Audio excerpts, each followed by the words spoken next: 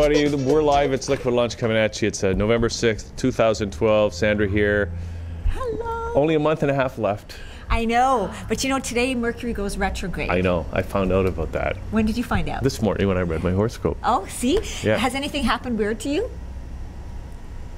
Yet? Okay, I don't want to plant the seed. Max so Brand came into the studio. but Max, that's just Max, I'm just joking, okay? It's my job. I have to make jokes. See, he's wearing Val a also red came into to the studio. anger. Yes. It means actually, apparently, what it means is technology goes woo woo. Communications goes back. Yes, community. Thank you. Because it's So- Mercury, Mercury, Yeah. the planet. So it's funny because I do know people who are sending texts out, sending emails. They're not coming Yeah, through. me Oh, too. really? That has happened. It's been happening It's- today. Just They said today, and they said it Yeah. could go two days before, and then it. I don't know how long does this last. till November 26th. That's a long right? time. Yeah. Don't It sign happens all the contracts. They say never. Don't sign contracts. By the way, when I said that, basically I haven't had any problems yet. I haven't either. Touch wood. So Well, the only problems I've been having was there've been some people calling me about wanting to have their their their their duck thing, their you know the duck thing? Duck. the duct Duck- tape. No, no, no, no. Something that the duck vent. Wanting to get clean and everything. Oh yeah. So you're a wrong number to a business or something? yeah. Uh, well, that's a communication Well- issue. Yeah, that is. Also, Max, you just had a big show, and Val, you went on the wrong I day, went the wrong day. right? Two days later, wasn't it? Max, what was it? What was your show? Hilarious. I was so playing funny. at the Relish down on Woodbine and Danforth on a Saturday night, and I, I think I emailed Val that she Mm-hmm. said she'd be, she be able to come, but she went on the wrong day. I the, feel the s- next really day. Embarrassed. Oh, that is so My guitar funny. player and I went just to, you know, support Max because he's always there supporting us and other bands. And uh, we showed up and there was no band there at all, except for a jam that was starting a little bit later. We, we missed uh, Max by two days. Oh my God, so that's it's a little bit of a delayed reaction. I'm sorry, Max. Don't worry, it's going to be on YouTube. Like um, Billy Z came down and filmed um, one of my Great. songs I was Okay. performing.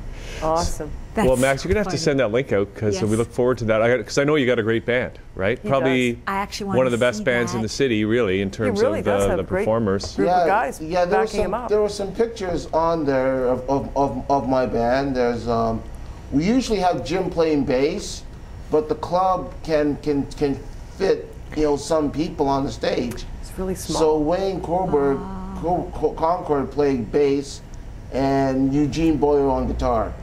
Wow. Yeah. Okay. Keith- Really small. Keith Fraser on drums, yeah. and yours truly on vocals. So it was it was great. So you'll there's there's a lot of pictures of that that Yeah. um, Parentana took and others have, ta- have taken, and it's it's on my Facebook. And if you are my friends on Facebook, you'll find I'm going to friend you on Facebook. I haven't friended you Who yet. couldn't be his friend on Facebook? I- I mean, didn't come know you were on He's Facebook. I'm gonna a friend you. Plus, of course, you can subscribe to the Max Brand Report. Yes, Which I got last report. week. Is that the shiny blue shirt? yes.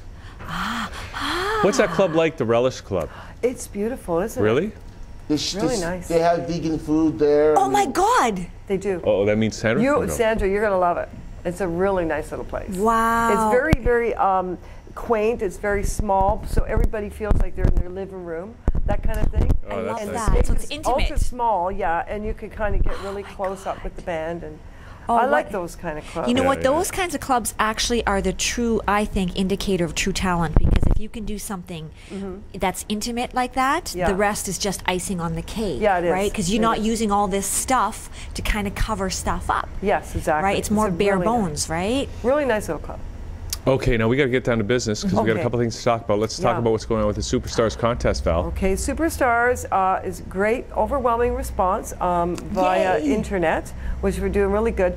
A lot of people have to book in with me because they're coming from different areas throughout the city. Some can make it, some can't. So we're going to be extending the show, and it's we are The gonna do auditions, you mean? The yes, extens- oh, the auditions are going to be going on into uh, the end of December. Uh, which is fine, you know, bypassing Christmas and what have you. So it is open until the end of December, even on, via the in- internet. Yay. And then uh, we will be doing the semis and the finals in January. Okay. Okay, so all the Just an all the actual events and performances have now are now rescheduled for January. Yes. Right? Yes. Okay, but, good. But we are still doing open uh, auditions Right. all November. Now, where do you do that? onli- Where do you they do can the- go online Yeah. and they can apply. They can send us videos, or we will be announcing what clubs we will be in that they can come and actually perform for a panel of judges. So they'll have to go to the website to check that Just because it's different go to the clubs and stuff. Which is right? superstars with, a Z, dot ca. Dot .ca, yeah. Okay. So Righty. Okay. please go to the website. That's fantastic that you're extending it to allow for more talent to come yeah, 'cause forward some too. people they had to reschedule and they couldn't make it. So I'm kind of juggling for them, for their yes, yeah. uh, well, you it's know, so only to fit that's them in. yeah. And also Errol would like to come and he's going to perform our producer of Superstarz. On the Yeah. show here. He's amazing. On the show. Oh, Yeah. And he's gonna bring his awesome! group. Oh, yeah, right. Love him. Yeah. So Errol Star will be coming. He's going to speak to Hugh and book a date. Okay, Excellent. that's great. Now I know, uh, I, of course, Max had his show, but also uh, Val. I understand you're doing something coming up uh, on TV or something. Yep, I'm doing a Rogers new uh, pilot, a Rogers TV show called Sessions Toronto, where they um, have different Canadian talent come and perform and interview um, at their show. So it will be coming up on 26 that we record. You're allowed to come down and see the show if you like. At the Lula Lounge, At the right? Lula Lounge. It's going to be uh, Monday at about 10:30. So, so now this is where you're on the other side. You're not. This is where you're not a judge. Now you're performing. I'm Now performing you're with the my one on rock stage. band, Which yeah. is a great band because I've song. seen them at the Hard Rock. Yeah, thank Wow. you. You know what? It's so great because you are still performing out there. So Yep. you know, so when you have this contest going on, you're on, you know, on the judging side or on the Yeah. MC side, but you're still out there, so you can still relate Yes. to all of, you know, I to, to the front line because because uh, you're you're still doing it. Yes, definitely. And just to let you know, also this Friday, if you do want to come out and see the band play, I'm playing at Brigadoons at St. Clair and Victoria Park, Okay. and with my whole band. Come on down. have When's some that? Fun. Brigadoon. When? It's Friday. this Friday. Oh. Brigadoon, I love Yeah, I know it's fun. It's a small little. It's a small club, bar. another little quaint club, but you know we've been played there four or five times already. So the name's bigger than the club. Exactly. They can barely get the whole name of Valerie. And no, it actually says Valerie and Dreamcatchers, not No, it Valerie says and Dodger. Valerie. They- oh, there you took go. At least I got a Dream Catchers because I would Yeah. think it'd be like Dream Cat That's it. No, they got the S in there finally. instead of hers. I Forget think they- hers. They, ran out of Cat letters, I think. I don't know. That's happened to me too before. or Val. typo. Oh yeah, we're top bad typo. Happened to you? What- What's the name of your band? Well, at the time it was the Japanese astronauts. Oh, definitely they run out of letters. You know, Oh my God! I wouldn't even know how to spell that. Japanese Astronauts. I had to, you know, turn some letters upside down and Wow. make stuff I just up want and know use how you tape. guys dressed You know. for that. Okay, so Val, so uh, okay, so it's all under control, and people Yes. can still uh, sign up for the contest. Superstarz.ca. Yes. And Max, the Max Brand report will come out, and you're going to send And some video band, of your the show. Max Brand Band. the Max The Brand Max- Band. Say that say that five that times. five- Yeah, the Max Brand Band. Max Brand Robot. Okay, Val, and we look forward to having Errol Star on the show Yes. soon. Errol Yay! Star, I, yes. am excited for Okay, that. guys, thanks for doing this awesome. today. Love Thank him. you so much, Sandra. Thank Now we better get busy with the rest of the show, Sandra, Yes. because we gotta We, we gotta. talk to them forever. Well, of course we could, and we will Have fun. after the show, or Sure. maybe down at Brigadoons. But Max and Brand Band. We- Wow. we, have uh, Don. Donna Kakonge coming up in just a couple of minutes. Uh, she's Love got a new book coming out called "How to Talk to Crazy People." Oh, did she interview you for that book? I want one of those. Well, that's a good good joke, Sandra. I Good joke. I'm gonna have to turn that over to the writers I and see if they can want come up with a snappy comeback. Um, also, uh, the Paddling Bryans are here. I'm really excited to talk to these guys. Uh, they're doing a 5,000 kilometer, or did. I don't know if they've done it yet or not, but it's going to be on TV. Wow. And, it's, and That's they, a reality show. They paddled from Alberta to New Orleans. Yeah. Can you believe that? Really serious? That's great. Yeah. That's also, amazing. Uh, Graham and Monika are coming. Burwise. Love them. Yes, we're going to have some deep philosophical, spiritual conversation. Yep, and Shawn Dalton is going to be on the show too, uh, talking about some, something political, no doubt. Politics. We go back Politics, from the spiritual something- to the political. And we've got some great videos today. great timing because we know what's going on today. Do we? Everybody knows Oh, what's yeah, the- going on I was just gonna it's mention not just that. merch. I know you were. Because we haven't even talked about it yet. I know it's not just Mercury retrograde. I know. It is Obama, Romney time. It's uh, yeah, election day in the U.S.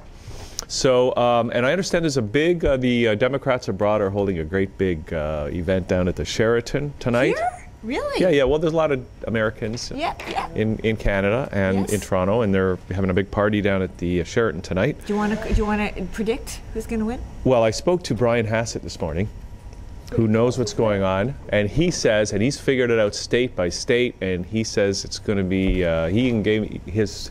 He. Re- Is he like the Obama's going to get 303 electoral votes, or 330, and 330, and uh, Mitt is going to get 235 electoral votes, according to Brian Hassett. So, we'll see how accurate he So is. that means Obama wins It means 100. Obama would win. Obama will win. Yeah. Although Mercury's retrograde, who knows what could happen? Maybe it's the opposite. Could that be? especially because of the voting machines, which we know are are so easy to hack. In fact, I got a video right now Okay. before we break.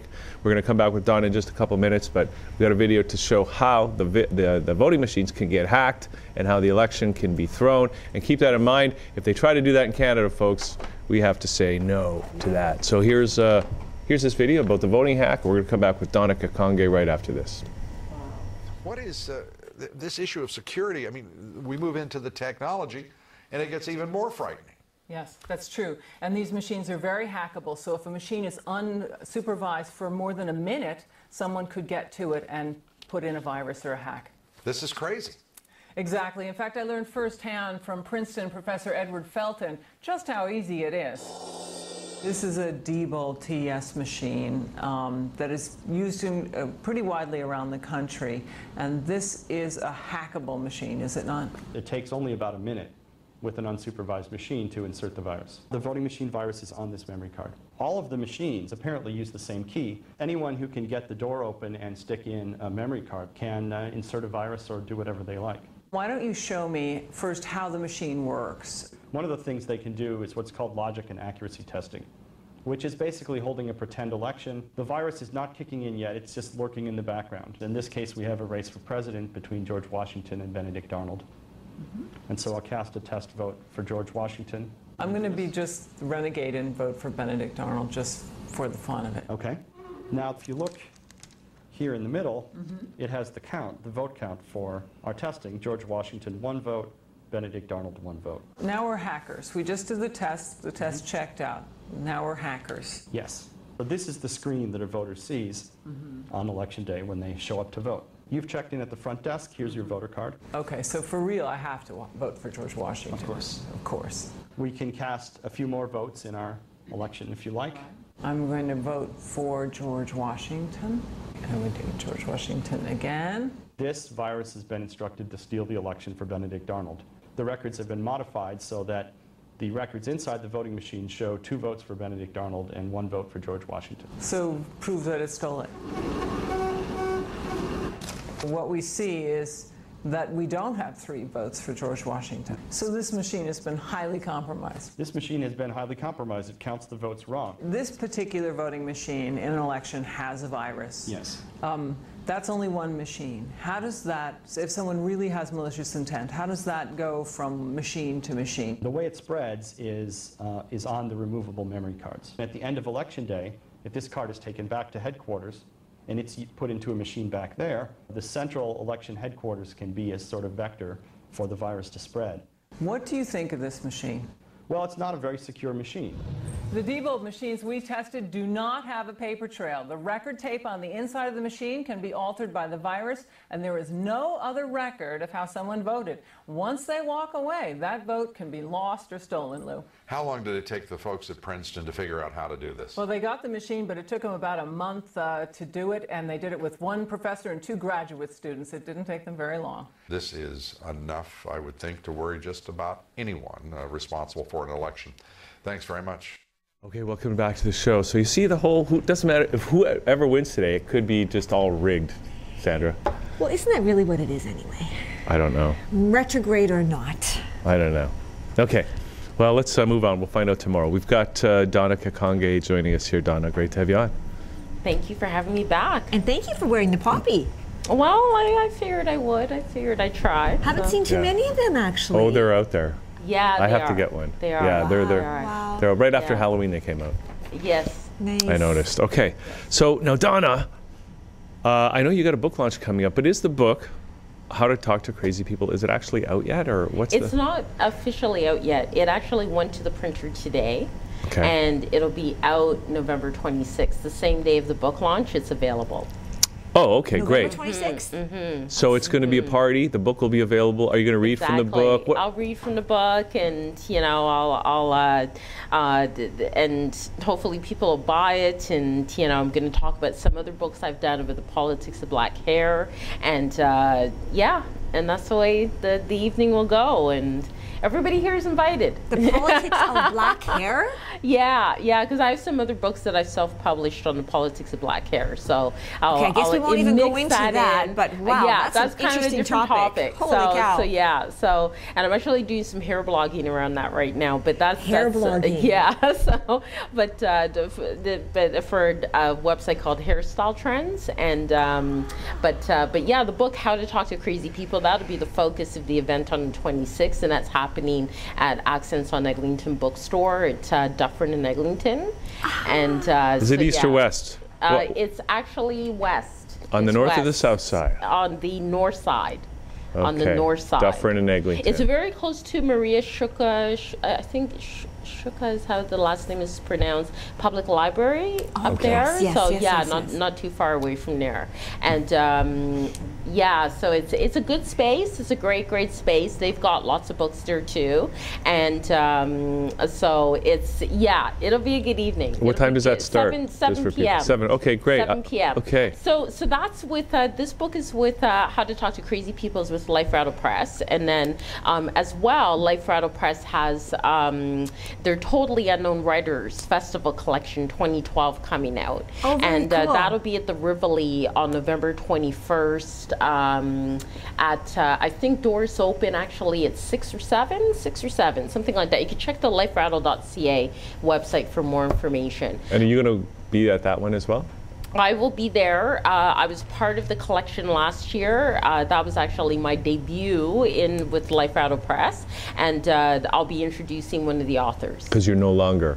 I don't know about that, but So, so what was the response like when you were there last year? it was fantastic. It was really, really good. A Wow. very welcoming community. Um, my Wow. sister, my mom came out. Um, it, it was, it was, it was really, it was fantastic. It was fantastic. The publisher was there. Um, all the writers were there. Writers from the past were there. Like the whole kind of anybody interested in Life Rattle Press and what they do, because they also have Life Rattle Radio as well. And these are podcasts that you can get on iTunes, and then it, it airs live each night on Thursday, uh, Thursday nights. You could get it from all over the world, and you access it from all over the world. And great, great stories you you hear. Wow. So yeah, yeah, and that happens every Thursday night. Nice. So yeah.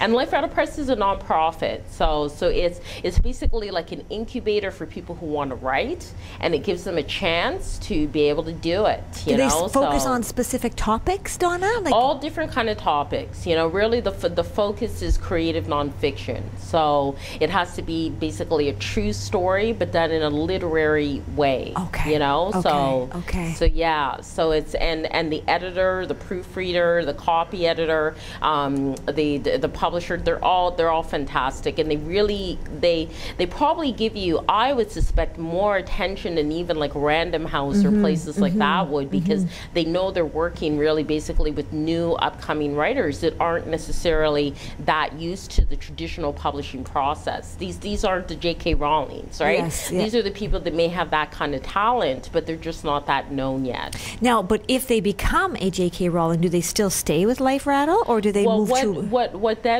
uh, happens is that um, they they encourage this as well. Like they hope that a bigger publisher will kind of buy the book from them and take and take it over. And you know, the writer has copyright, but like you know, they're just buying the book over and will take it on and give it mainly marketing is the main thing that they can't necessarily provide. So because they're a nonprofit, so you won't see posters like what you can see in the TTC, like the girl with the snake tattoo or whatever. You're not Ah. Yes. going to see that because Okay. you know even uh, it's paying money to have a launch at the Gladstone. You know they, they got to count their pennies, right? So so you know whereas Random House can have it at the Liberty Grand if they wanted to, right? So Yeah. you can just invite every single person you've ever known.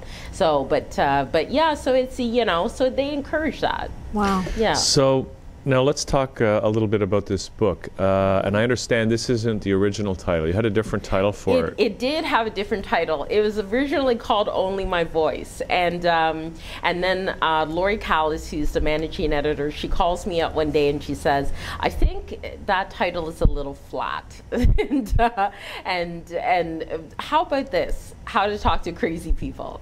So I kind of stop for a moment, think about it.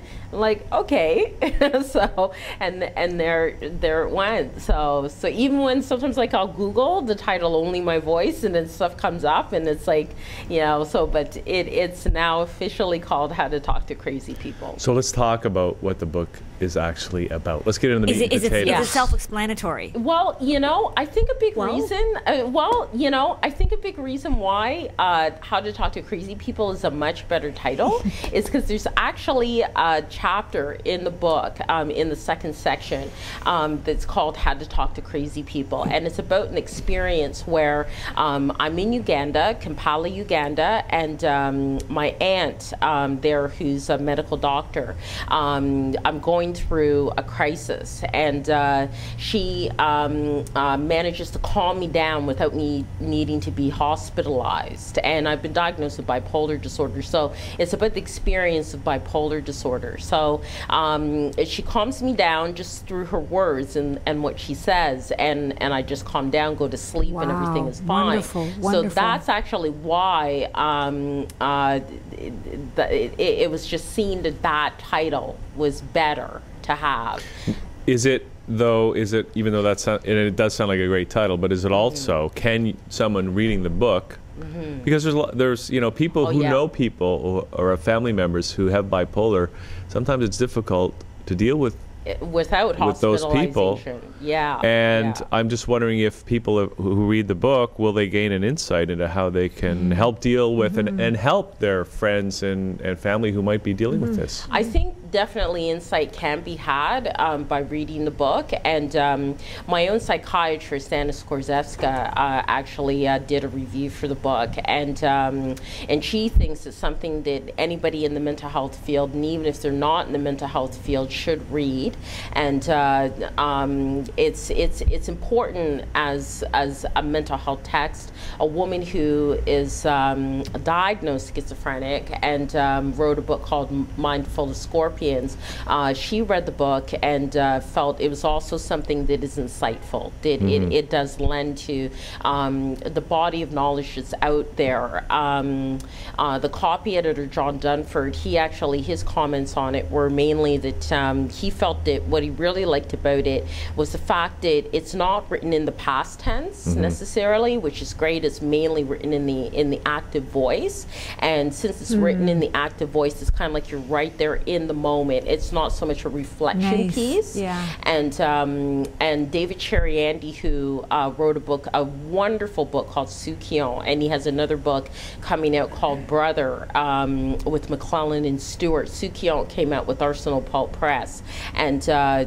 and he wrote a, a review for the book too. And his he he also commented on the writing. As somebody who's a writer, he's a professor of English at Simon Fraser University, and um, and he felt it was also very well written too. So in in that kind of you know because you've gotten really good support backing you up here. which is great because it at, at the end of the day, a book is a product, right? So you're trying to get a product that is um, good to read and plus informative and enjoyable and creates an experience. And I think for all that, it definitely does do that. Like Plus, plus the topic's a touchy topic and can be considered intimidating, Yes. right? Yes. So a- and fearful. Uh, yes, absolutely, absolutely. So I think me a book is a good kind of way to discuss this kind of topic for maybe somebody who may be questioning themselves about what they're going through, or maybe somebody that they know, or just wants to know more about this topic and doesn't really understand what really is meant by crazy. Isn't everybody crazy?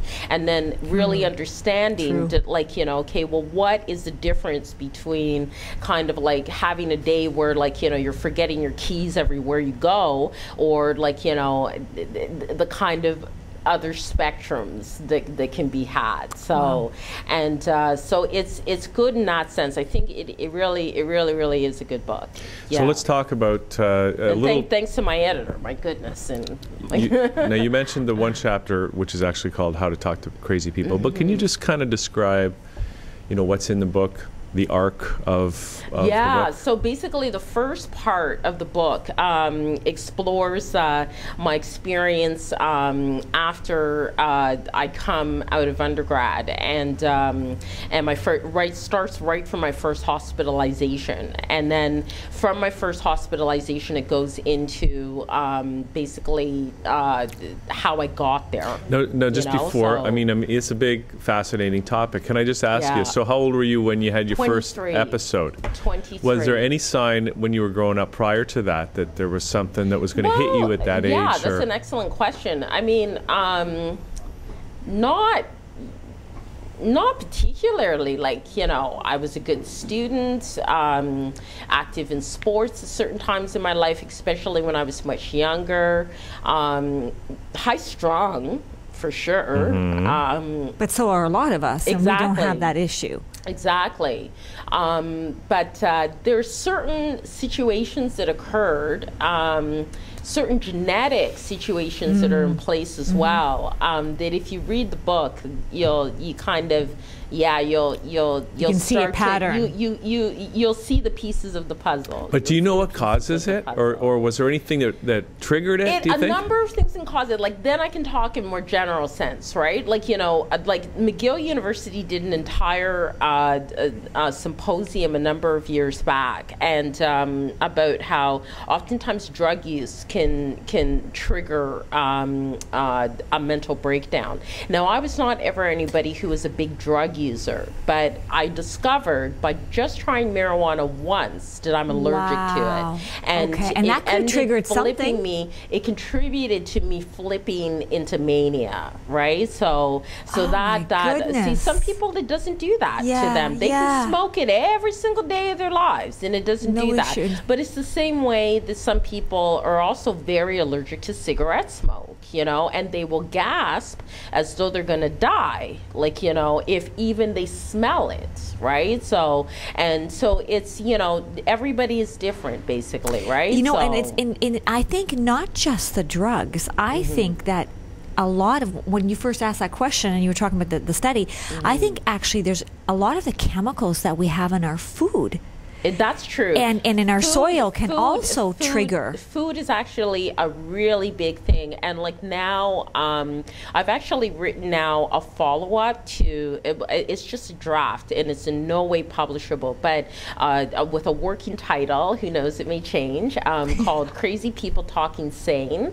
Uh, Oh, wow, that's of amazing. normal Love life. that. Yeah, crazy people talking sane. Because basically, I've, what I've managed to do here um, at this point in my life is almost 10 years manage my bipolar disorder. So, I mean, Congratulations, I went that's from wonderful. Like, you know, 16 hospitalizations to managing it for the past 10 years. So, Wow. and uh, so it's more, it's, it's, it's, I wouldn't necessarily say How to Talk to Crazy People is like a happy kind of book, but it does have a certain sense of optimism and, um, and uh, optimism and, and hope to it as well. Like that comes through, right? So, and, um, Wow. but Crazy People Talking Sane is more about, okay, managing kind of like the, the, the good things, how to get, you know, like I don't drink. Um, I'm on the path of trying not to smoke. I'm wearing the patch, you know, so, and, uh, and getting to the point where I'm not smoking anymore. Um, there's, I don't, there's certain things I just really can't do. I can't go out partying all night long like I'd love to do many times, but I just can't really do that because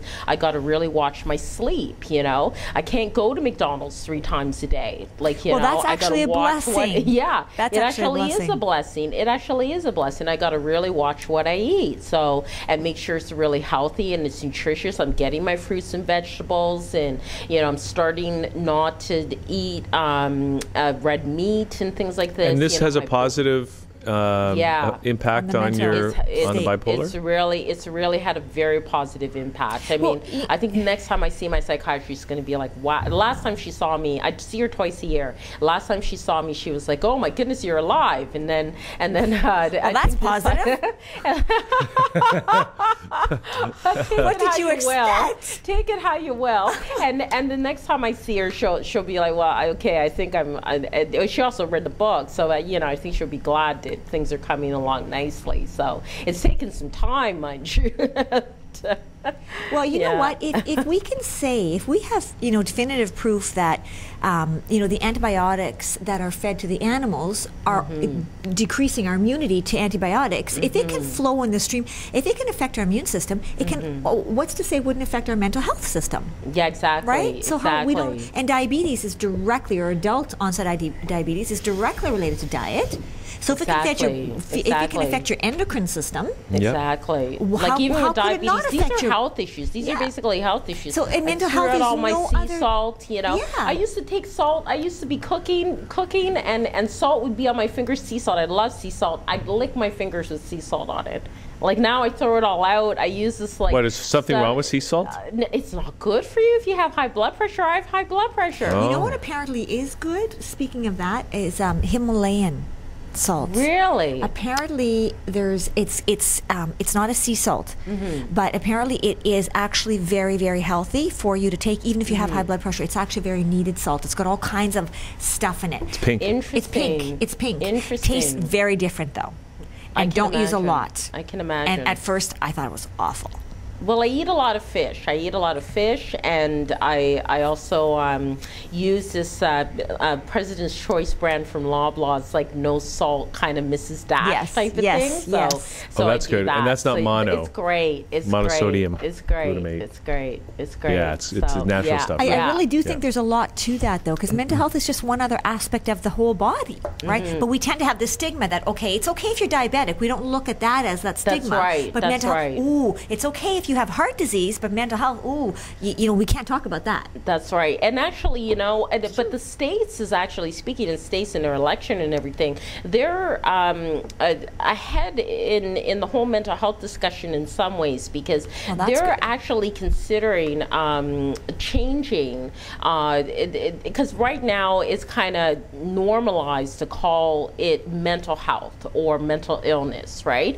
Uh, in the states, they're actually moving towards calling it co-concurring disorders co-concurring disorders. So understanding and feeling that with that frame or that catchphrase, I mean, labels are one thing, and yes, they can be discussed and all these kinds of things, but co-concurring disorders is supposed to be able to take into account all the contributing factors Wow, that, okay. that create a situation, any point of illness, right? So even be it cancer, be it heart Wow, disease, okay, be it okay, so anything. it's more integrative. Co-concurring disorders, exactly. A more holistic approach, Yes, right? So to understanding what illness is really about and that it's not just simply like, okay, so I smoked a spliff one day and then I end up in the hospital or okay, so um, my dad also had a breakdown when he was 16. I have a I have a aunt that also um, suffered from depression. I have you know, it's just not it's not always that simple because there's tons of people who could also have genetics running Yes, through their yes, system and they still do not end up ill right? So so it's um it's you know with disease basically. So so yeah so it's it's um we're, we're we still got a lot of work to do on all these things. So so my book is is um it contributes to the discussion. It contributes to the That's a discussion. really good way to put and it. i hope that um other people will be inspired to also write their own stories too. Because that's the best you can do. You can't talk for other people really at the end of the no, day right? The best you can do is just Each of us has to do our own part Yeah. in preventing the zombie apocalypse. exactly. exactly. Exactly. That's a good title for a book. The I love zombie that. apocalypse. I love that. It's coming. It's coming. Beware, people. Okay. So you did interview him for the book, didn't you? How to talk to crazy people. I, I didn't. I did. I didn't interview you.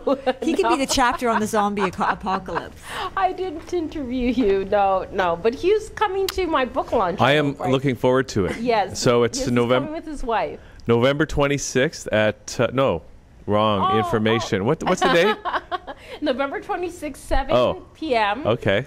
7 p.m. And At- it's at Accents on Eglinton Bookstore. I believe the address is like 1784 Eglinton Street West, but I could be wrong. Just about west that. of Dufferin on I the north side, right? Yes, exactly. Just look for the exactly, bookstore. Exactly. Okay, well, we look forward to that. We look forward to the book coming out. Good luck. and uh, Continued it sounds like you. Donna Thank that you. it's really for people who people who might know somebody who's got bipolar, maybe somebody who's got bipolar might get some insights on how they Mm-hmm. That's can deal with it, and also right. anybody who's just generally interested in preventing the zombie apocalypse. Exactly. Okay. We should be everybody. That's a Which should be everybody because except maybe a zombie. Okay.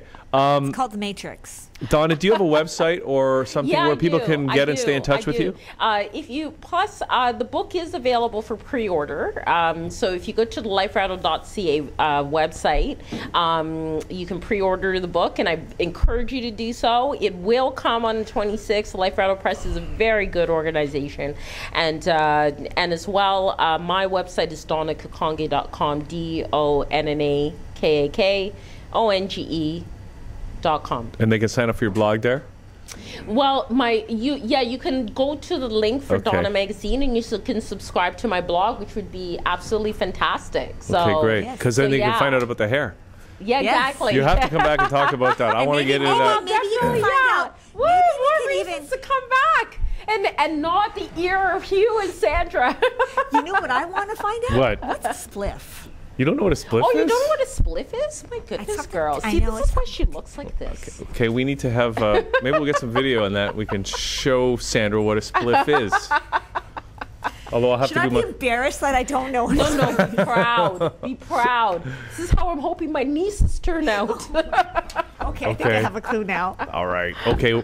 All right, Donna. Thanks for doing this. Okay, we're gonna take a little break. Hey, we got the Bryans here. We got uh, Bryan Adams. That's right. Bryan Adams is here, and uh, Wilder Weir. Uh, from the Paddling Bryans, which is uh, airing on the Travel and Escape This channel. is the Bryan Adams. and we're going to watch Wow. a little bit of about their first canoe trip, and we're going to come back and chat with these guys right after this. Yeah.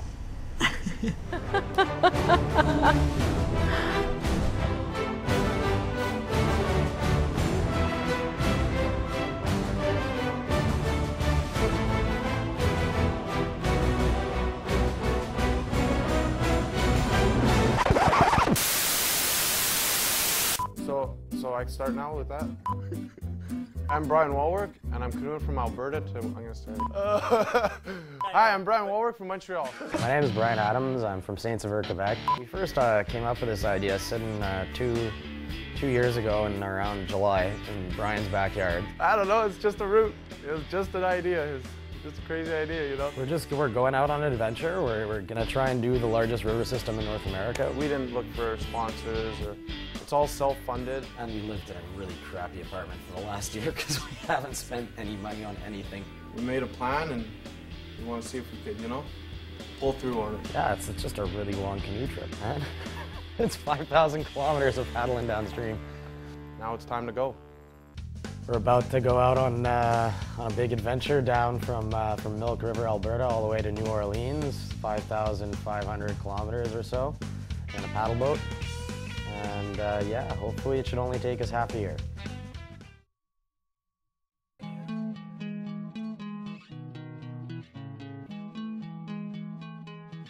It would be cool to do the trip in a motorboat or whatever, but it wouldn't have the same meaning, you know? We're Canadians and we're gonna paddle a canoe, man. We're just saying, we're out. We'll see you guys in New Orleans. No one back home has believed us until we were, you know, pulling out of the driveway. Now is the time to let go. Trust in me and let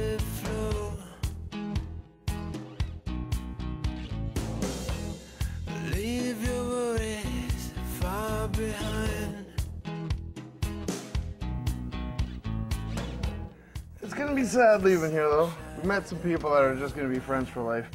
I got so many people praying for me and all this stuff. And the other half are like, wow, great, man, go have the time of your life. So we're, we're hoping for the time of our life. You know?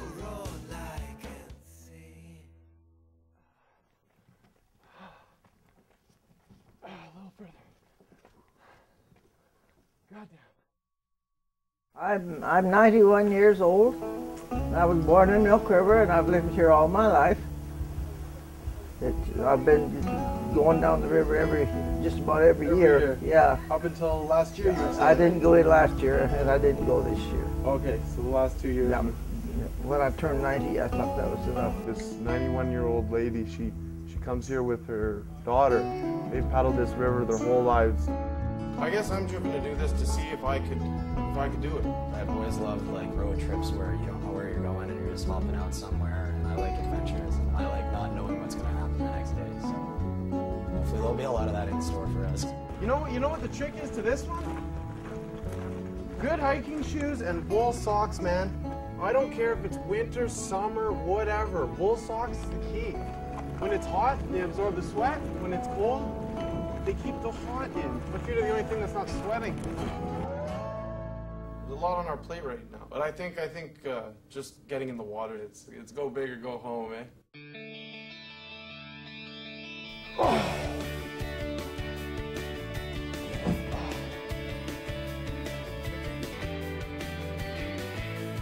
I do.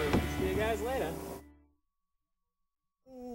Rolling, rolling down the white water.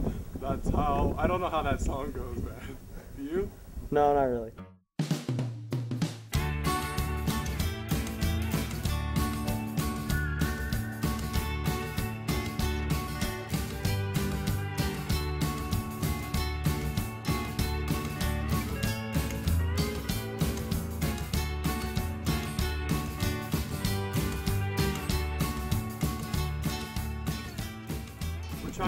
Mean, we've only been on the river for maybe two hours, probably not, and we've done at least 12 kilometers.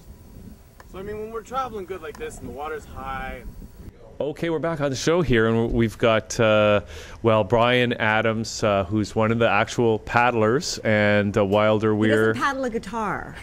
That's right. Hardly anybody does, except for maybe uh, Bruce Cockburn in one of his videos. But I'm just guessing. I don't know if he actually did or not. Okay, and Wilder Probably Weir. don't want me singing either, so. okay, so now, and Wilder, you're one of the producers Yes. of the show, which Yes, is called The Paddling Bryans on um, the Travel and Escape channel, channel 267 on Rogers. And uh, let's talk about this a little bit because, uh, I mean, Wilder, you were just mentioning uh, how did this happen?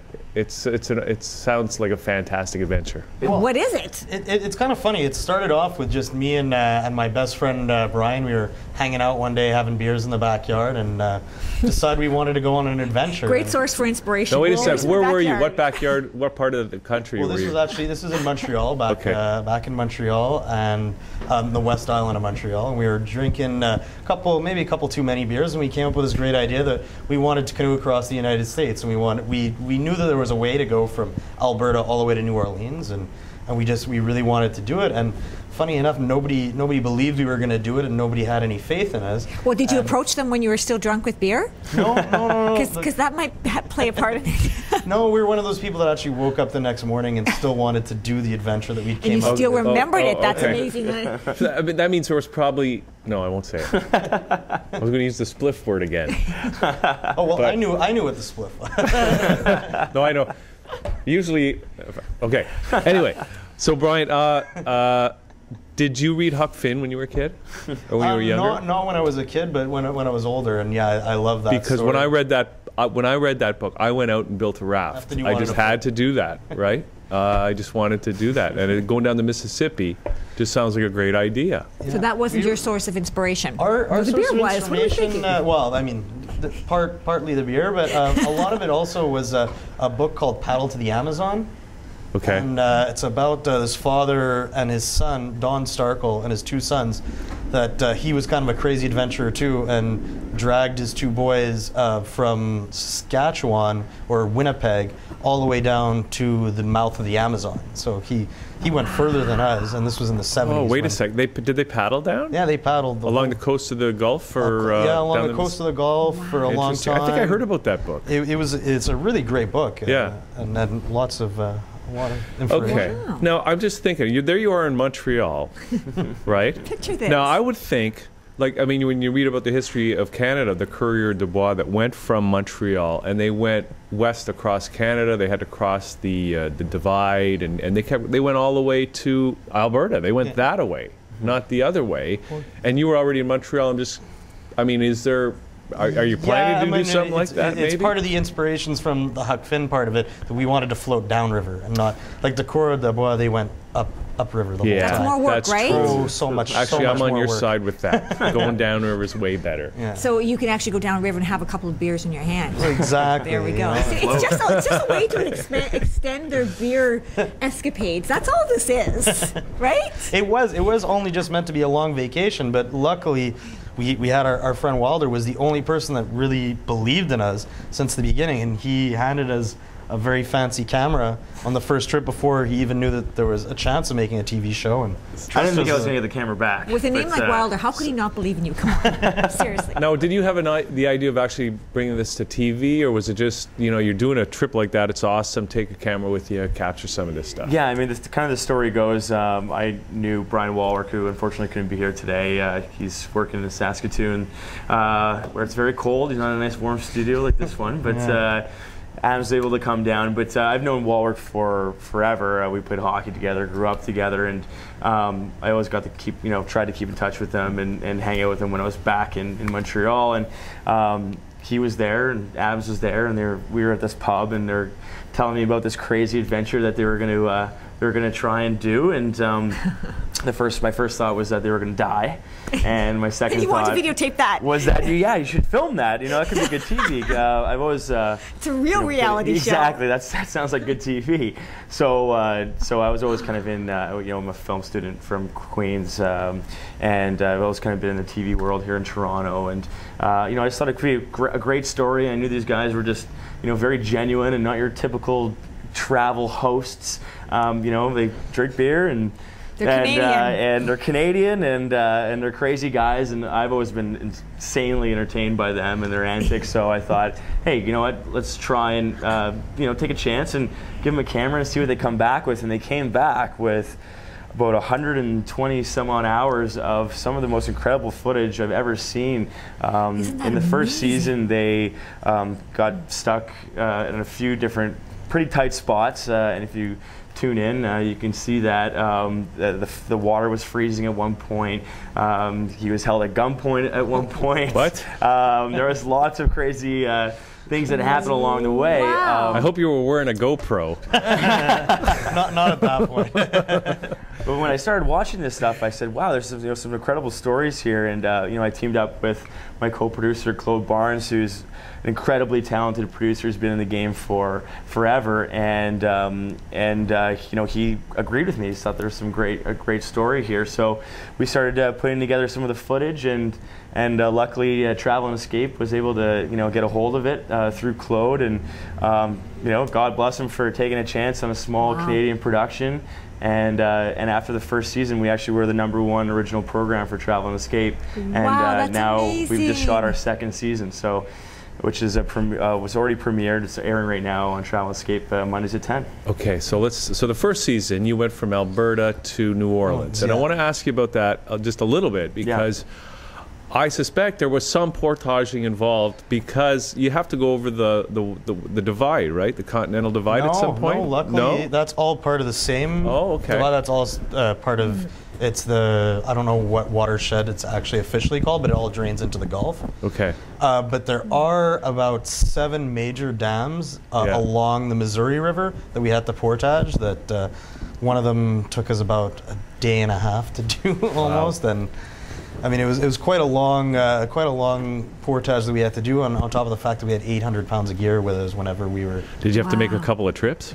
Uh, Wow. Luckily, we had it set up so we didn't. We Okay. only we, we do it just like one Yeah. trip. Yeah. Uh, we had a wheel system for the canoe, and we'd stick a bunch of gear in that, and, and I would pull some of the other stuff. But most of the trips back and forth, it was all because of uh, of the camera, because we were out there Oh. by ourselves the first time. So it was just the two of you. It was just so the you two had of no us. crew, just you no, guys shooting. and, and no camera knowledge So, either. so you would and I just mean- shoot the other Brian, and the other Brian would just shoot you, or you would shoot scenery. That, or we'd put up a tripod and then walk past it and go back and get it and, and do that whole. this uh, is us walking past. now, did, did you find? I mean, I'm just curious, but did you find you know that there's the the whole beauty of doing a canoe trip And then there's the beauty of doing a TV show. Did you find Wow. that shooting the the, sh- the the video interfered with the joy of, of the canoe trip, or vice versa? Um, it, it didn't really interfere with the joy of it because I don't think we were actually planning they would ever make a TV show. So we kind of looked at it like this is going to be such a great video for us and our friends to show everybody what we did for the six months that we were out there. So that begs the question, Wilder. You had tw- 120 hours. How much was actually arable of that Well, hours? uh, yeah, we were making uh, lemonade of lemons there for sure. Um, I had to, uh, I had to write a few strong word letters to you guys on the on the trip. Uh, enough drunken footage, uh, but uh, but honestly, uh, for the most part, uh, we, we, it was just.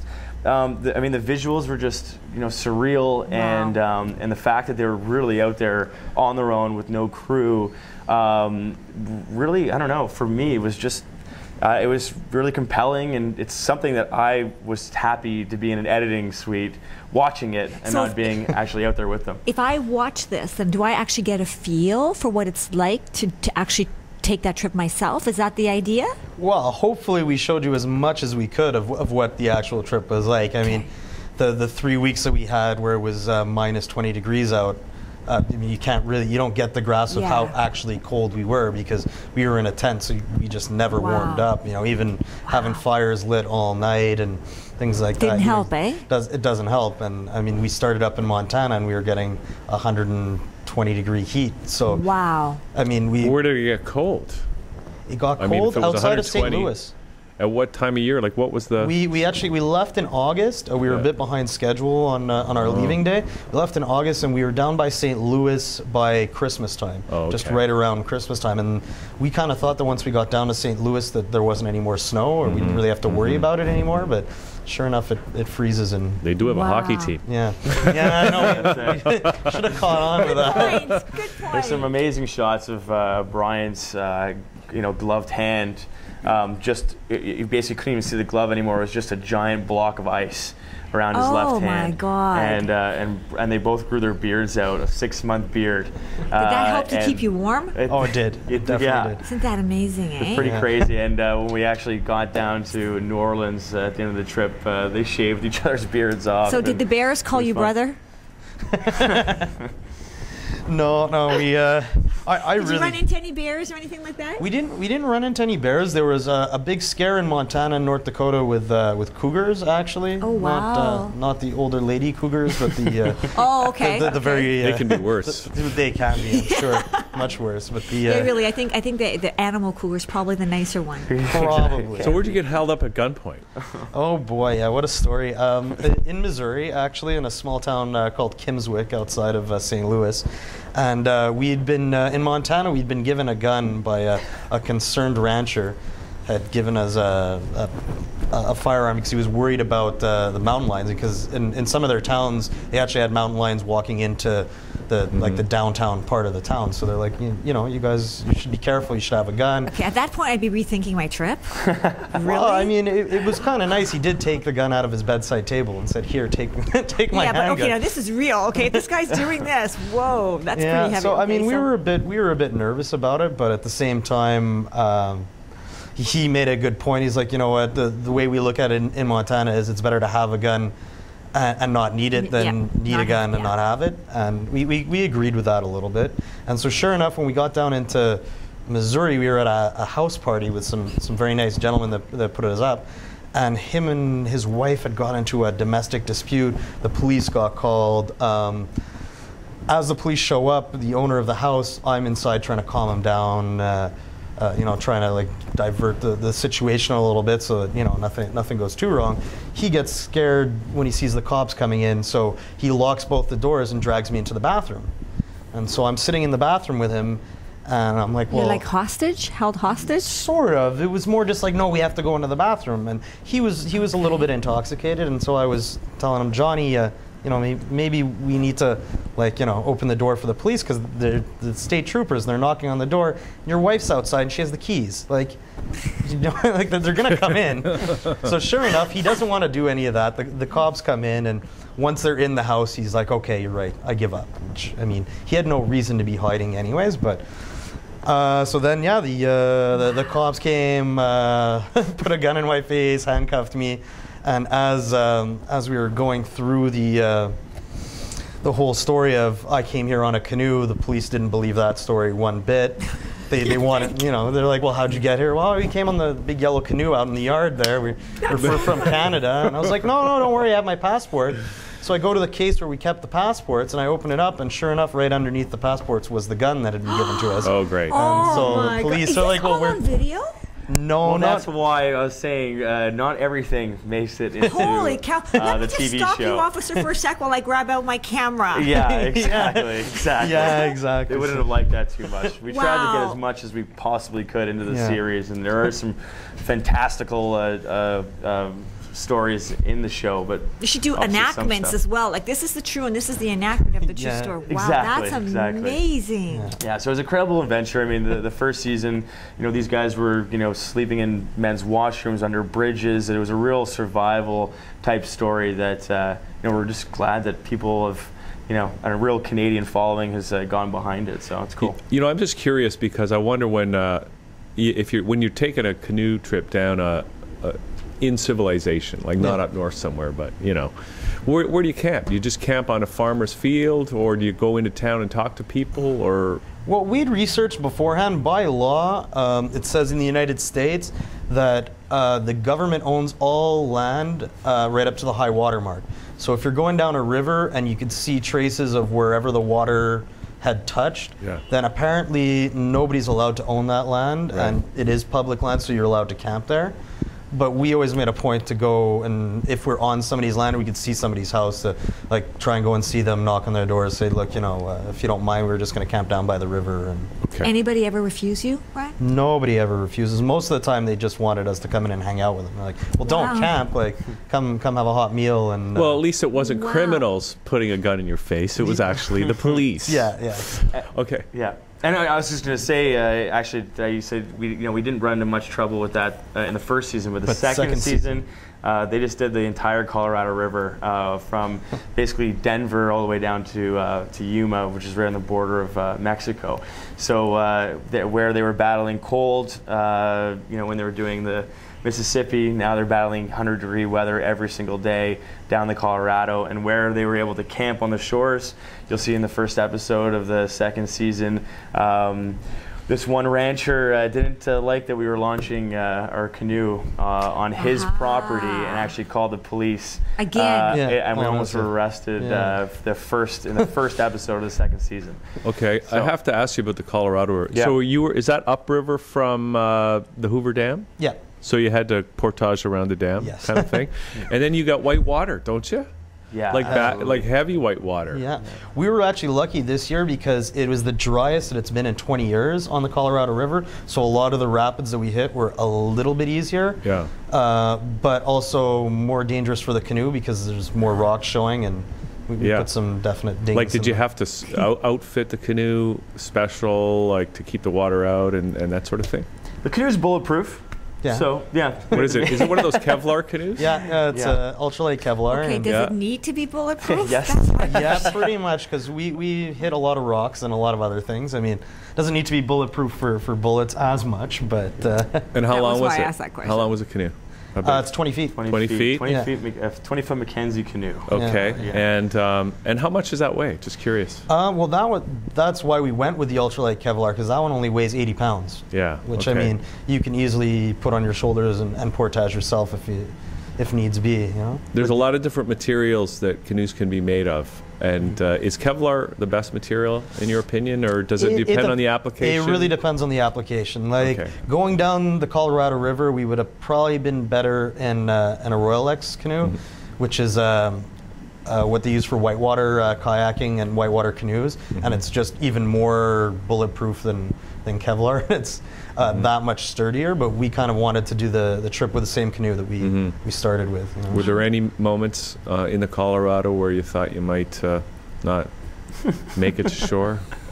oh, there was yeah, there was quite a few of those uh, those moments. Uh, there was definitely some some points as we're going down the rapids, and you keep looking and going, oh my God, uh, I, I don't This- know if this was a this good is it, idea. this is it for us. This is it. These guys Yeah. are were doing up to uh, class four rapids, uh, which is can get pretty hairy even for a kayaker. So, uh, in a 20 foot canoe with 600 plus pounds of gear uh, strapped to it, and two guys that are are battling heat exhaustion and uh, you know other elements is pretty crazy. I remember there was one one story that keeps coming to mind. We were coming out of the Grand Canyon and um, one of the kayakers, you know, tried to get them to stop. And uh, it was actually it was too late to we were gonna they were gonna hit the rapids regardless. They went through them, thankfully got through, and then we found out later that uh, two canoers uh, had actually gone down these rapids a few days ago and they hadn't found the bodies yet. Uh, Wow. So it, it was you know we we I feel got lucky a lot of the times. Uh, we were basically running gunning, uh, especially with the production of it, and you know with the with these guys, you know, just being able to, you know, be the, the, the you know talented canoers that they are, and and uh, and get through some pretty hairy situations, which is all miraculously caught on camera in the second Mm. season. We had you know a lot more cameras. We had GoPros on all over the cameras. We had GoPros on GoPros. We were Yeah. used to say, and and uh, and uh, obviously Claude, my co-producer, very talented uh, camera op as well. And um, you know we just some, some of the some of the shots in the second season are just unbelievable. So there would be a big difference between the second season and the first season Oh, then. yeah. So is that what's airing now, the second season? Yeah. Second series airing now. It's uh, Mondays at uh, 10 p.m. on Travel and Escape. Uh, Rogers, it's uh, channel 267, and uh, Bell, it's channel 527. And uh, yeah, Mondays at 10 if you want to check it out. Um, that'd be awesome. Yeah. Great. And uh, and uh, so what about season three? What do you got in mind for that? Oh well, you guys have been toying with Go the horseback Amazon. riding. We've No. been to- yeah, exactly. um, I'm just surprised that both the Bryans are, you know, still surviving. And you know, wanna and do it. You guys even wanna 'Cause, do this at the You should pick yeah. a more and more dangerous Yeah. river each Exactly. season. well, you can follow these guys actually uh, at uh, Paddling Bryans on Twitter, and we are taking suggestions for the third Wow, season. Wow, very cool. Maybe we should have a Um, contest. yeah, well, that that would be it. I mean, we'd obviously uh, we'd love to hear suggestions. We're we're definitely you know obviously our minds are on third season now. Um, the Amazon through Brazil has been mentioned. Uh, well, the you get Rhine to really River. travel too. How how cool is that? The Rhine eh? through Europe would be amazing, and uh, Oh my God. obviously we just we'd like to leave Yeah, North I mean, America and get out there a bit. Yeah. Well, that, that that's basically it. And me and Bryan have always been saying that in- even TV show or not, like this is what we love to do. And I mean, we're, we're going to keep going on different adventures down different rivers, whether or not there's going to be a TV show. It's just Man, if you can it's make a a- bonus if everybody else can see it. If you know? could make a career out of this and just keep it going, and you know, the. Nile, I think would be amazing. Oh, From Nile, Lake yes. Victoria all the way to the Mediterranean would be awesome. You, if we do the Nile, you win the contest. You Okay. can come with us. Yeah. All right. Kind of sit in the Wow. middle. Yeah, There's lots that's of season room four. there. Season Oh, there's four. no- there's tons. Season four. Okay. So 600 pounds Um, of beer? Yes. Okay, yeah. so that beer must weigh a lot. The beer. no, but the beer's easy because the beer, you know, it starts off heavy and then you just finish it, right? And but it's fill it back up take, again, no, but we take cans, so we crush They're them. You know, cans. it's very nice. And Gotta be A really cool fact, actually, is uh, you know, uh, with all the water in the world, only one percent of it is fresh water. And uh, you know, being able to do this, the two rivers that we already have. I mean, we're on our way. We want to do it all. Yeah, we want to do all Wow, that that's one percent. amazing. That'd be exactly, great. yeah. That's amazing. My, Wow. my goal Continued one day guys. maybe to do Antarctica because there's some there's some crazy there's some crazy little rivers in Antarctica that have just never been touched nuts. before, and nobody's ever put a canoe in. So Do they I mean, flow even? Uh, o- only for like three weeks of the year. Yeah. But, I mean, yeah, that would That would be very that'd be You are down the line. absolutely But Maybe by then all the ice will be gone you, anyway. Yeah, who you, knows? you need to read Donna's book, How to Talk to Crazy People, because you are insane. I'm definitely yeah. Well, I'll buy, I might have to buy that book. Being the producer, one of the Yeah. producers. Okay, guys. Well, this has been awesome, Yeah. and uh, Thank I you guys wish for you. sharing that experience. Amazing. I wish you all the best, and Yeah. uh, Yeah, want to hear having about next season. So Monday night, 10 o'clock on uh, 267 on Rogers, 527 on Bell, and uh, thanks for coming in today, guys. Wow, Thanks. thank Thanks you. for Yeah, thanks for having us. Thank you Okay. guys.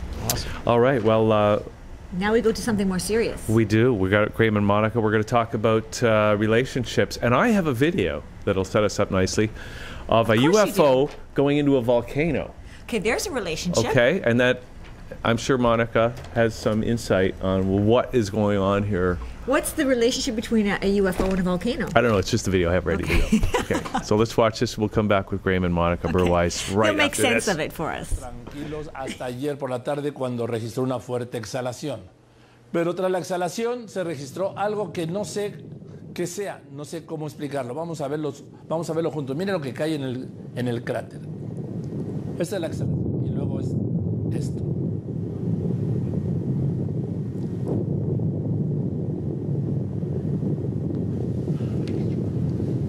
Ahí está esto que cae en el cráter. Ante esto no se lo presenté ayer porque buscamos especialistas que hasta hoy nos dieron estas explicaciones. Miren.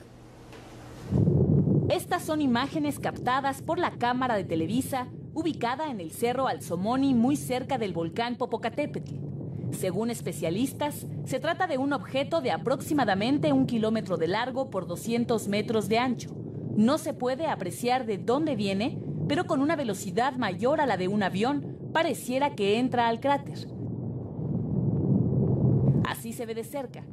Es un cuerpo cilíndrico, se aprecia un exceso de brillo en su cara frontal y una sombra. Acudimos con la astrónoma de la UNAM y miembro de la Unión Astronómica Internacional que ha revisado a detalle los objetos luminosos vistos en la zona hace 15 días y en abril pasado, cuando el volcán registró mayor actividad.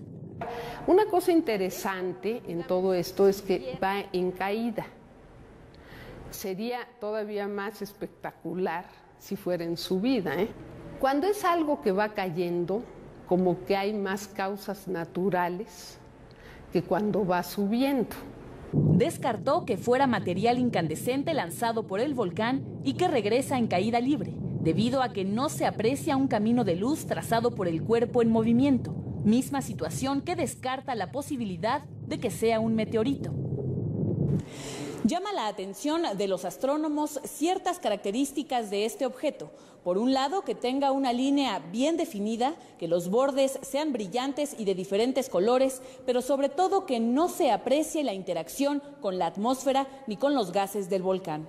Imagínense un cilindro de un kilómetro de largo y de 200 metros de ancho, o sea, dos calles de ancho y un kilómetro de largo, en una zona donde hay, aparte de la atmósfera terrestre, pues están todas estas exhalaciones, gases y todo caliente. Se esperaría un fenómeno explosivo, como más gases, humo, una luz diferente y sonido. Nada se ve ni se escucha. La especialista aseguró que incluso puede tratarse de un defecto del video. que muchos de los píxeles de la imagen están saturados. Entonces, como que fuera un rayón o algo, como que pareciera que no es parte del video original. Una sola imagen para los científicos, dijo la astrónoma, no es suficiente para hacer una aseveración. Ajá. Es un fenómeno interesante, hay que estar atentos, pero se necesita confirmación. Saraí Méndez, Noticieros Televisa. Bueno, lo vimos ahora en cámara lenta. Así es como lo, lo registró nuestra cámara que está ahí permanentemente. No, eso es en cámara lenta. Así lo registró exactamente así. Bien, entonces este es el registro original. Bueno, el, el fin de semana buscaremos mayores explicaciones con especialistas. All right. See, so the, the- did you see that UFO go into the volcano, Sandra? It's it did. It's weird. It went into the volcano. Did it come back out? No. Wow. It's I- like the Bermuda Triangle. Right? The, the best I can think of is that the aliens, or whoever they are, are, are pu- putting something in there to make sure that the volcano, which is a big one in Mexico, doesn't blow and, and kill a bunch Oh, so they're people. good guys. These are good aliens. Yeah, hopefully, hopefully. Okay. But we have uh, Graham and Monika Burwise here, guys, and uh, Hello. great to have you on the show. Hi. and, and we I'm are- scared. I'm Wh- what? anticipating right now because you are up to something. No, I'm not. I don't even know what I'm going to say next. I know exactly. That's the problem. like before we came here, we were like, what are we going to talk about this today? Uh, talk about today. I go, I don't know of those two guys. Uh, let's just not prepare. well, well, well, I mean, sort of. When I asked you before, you said because I know you just put on that seminar about relationships, right? So maybe we're going to get into some of that. I'm sure we are, but let's just keep it open.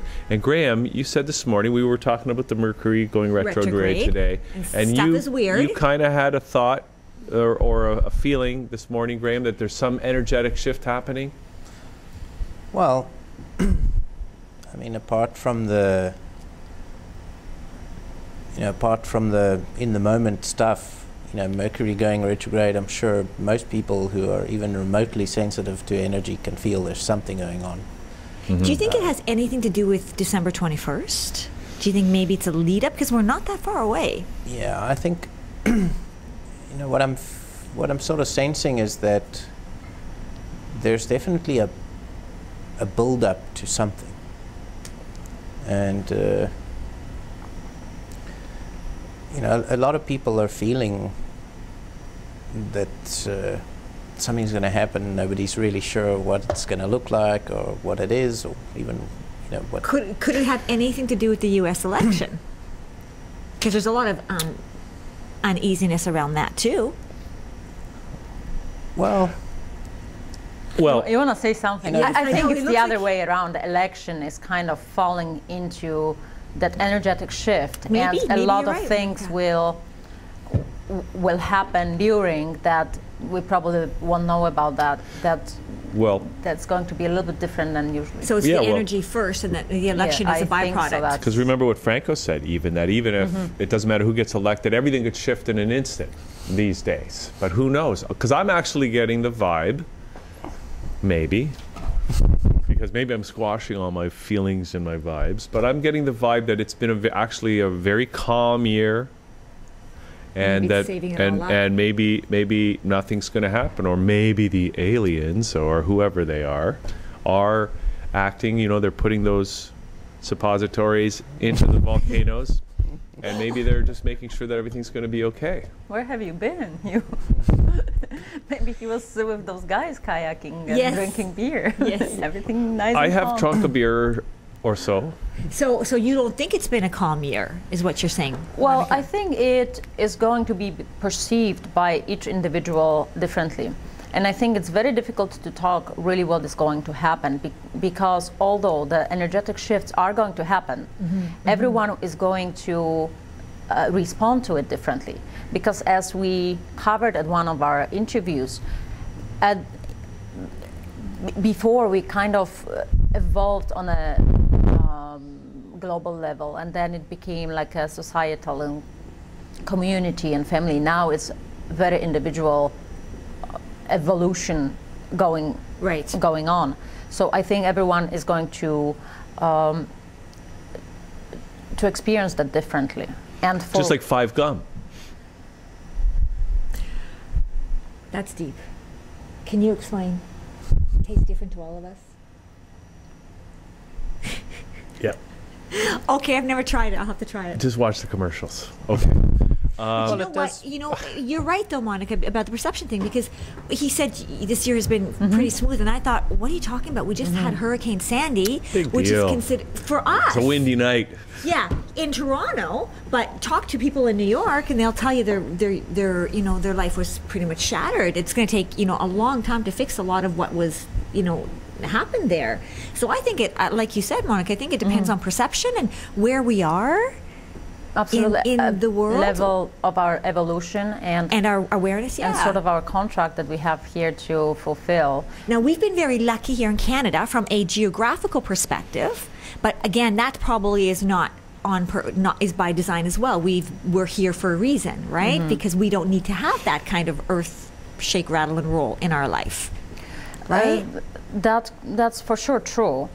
But I, what I wanted to say, based on that individual kind of journey of the evolution, what is happening with us, we, we need to remember that as a part of a consciousness, consciousness is made of energy and information, and each of us is a different piece of that information. So we contain a different information uh, kind of embedded in us.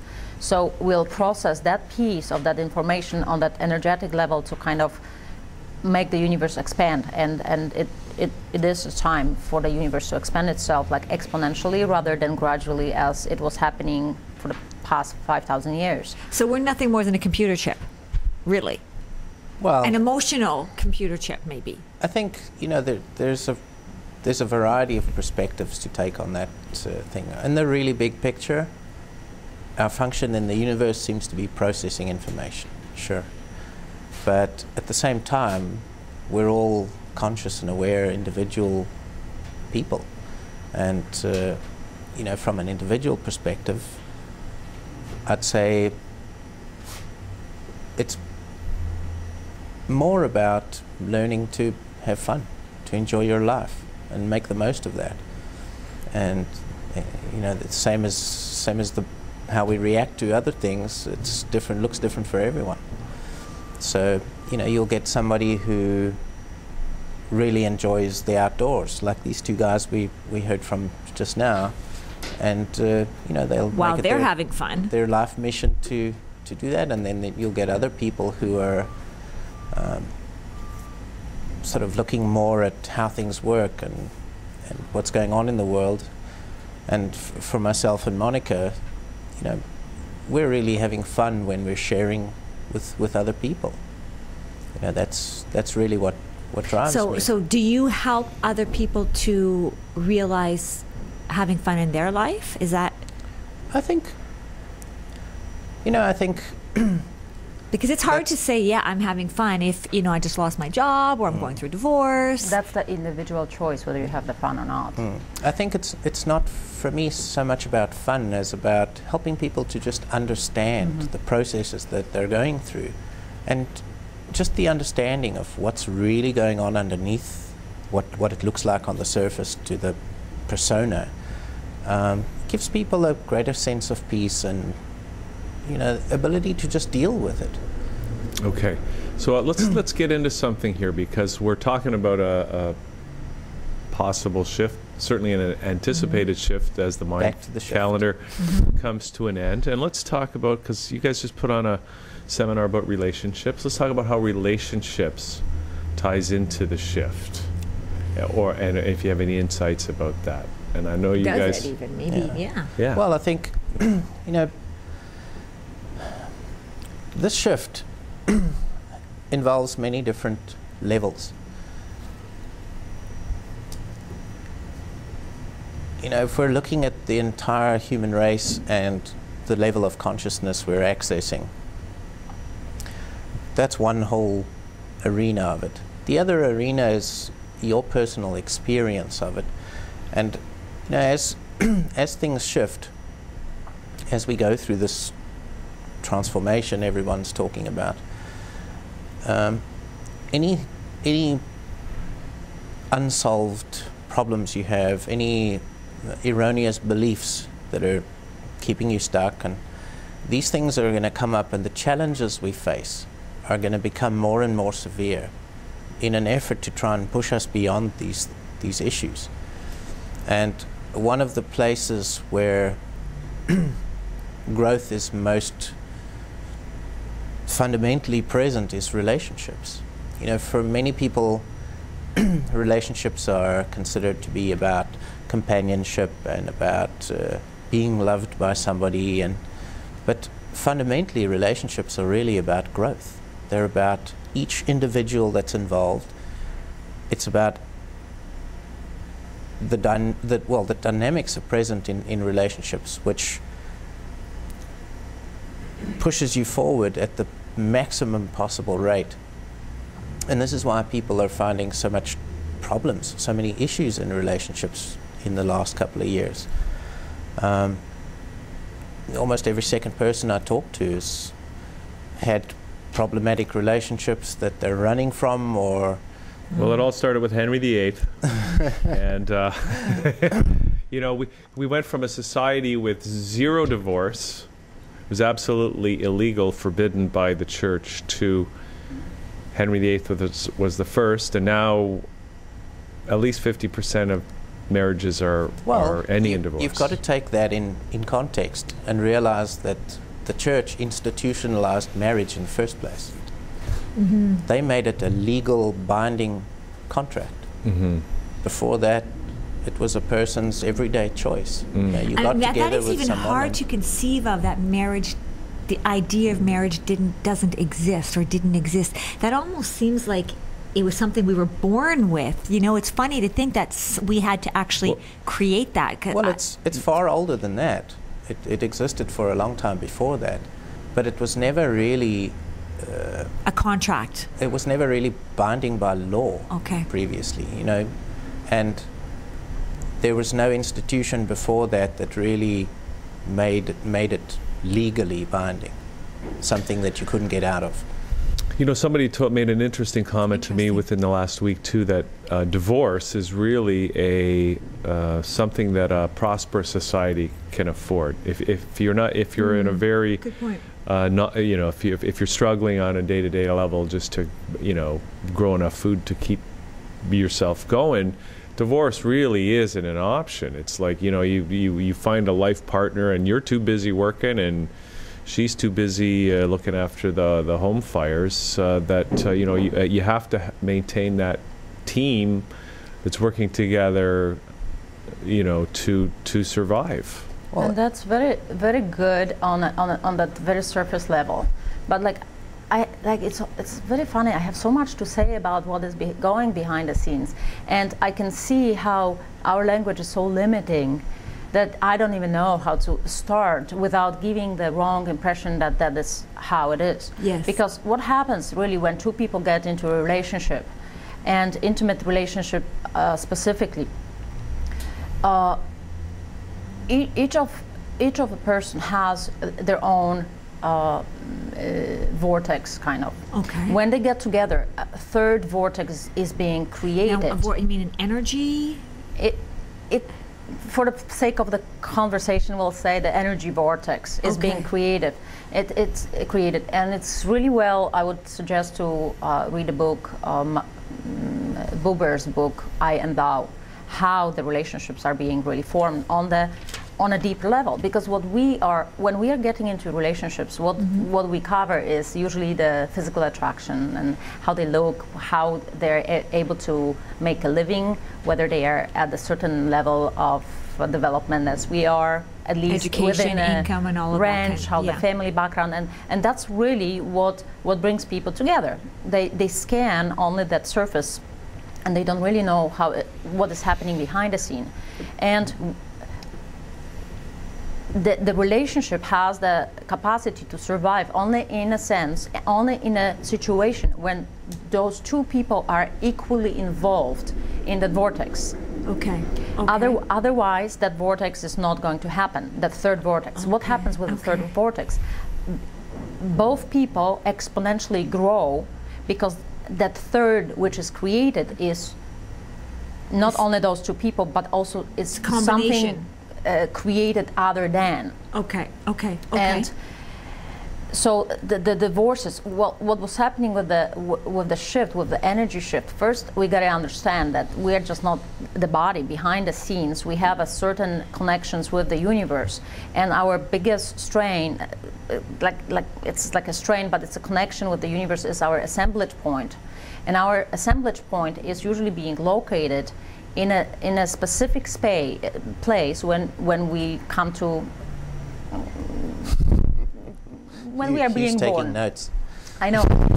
It, it's very difficult to explain, and I don't want to be like Mm. wrong Well- about this because it's so like there is no words really to yet. At least I didn't find it. That's why Just make faces, Monika. I'm, ju- I, I'm making. faces. that's why I'm making faces. we can, you know what? We can instead of having it, I just let's wanna have the meditation as- and just send the I energy just want to be as correct can get it. as with the observations that I learned over the years as possible. So that assemblage point is located in one space. Most of the time, uh, within our lifetime, it doesn't have a chance to move.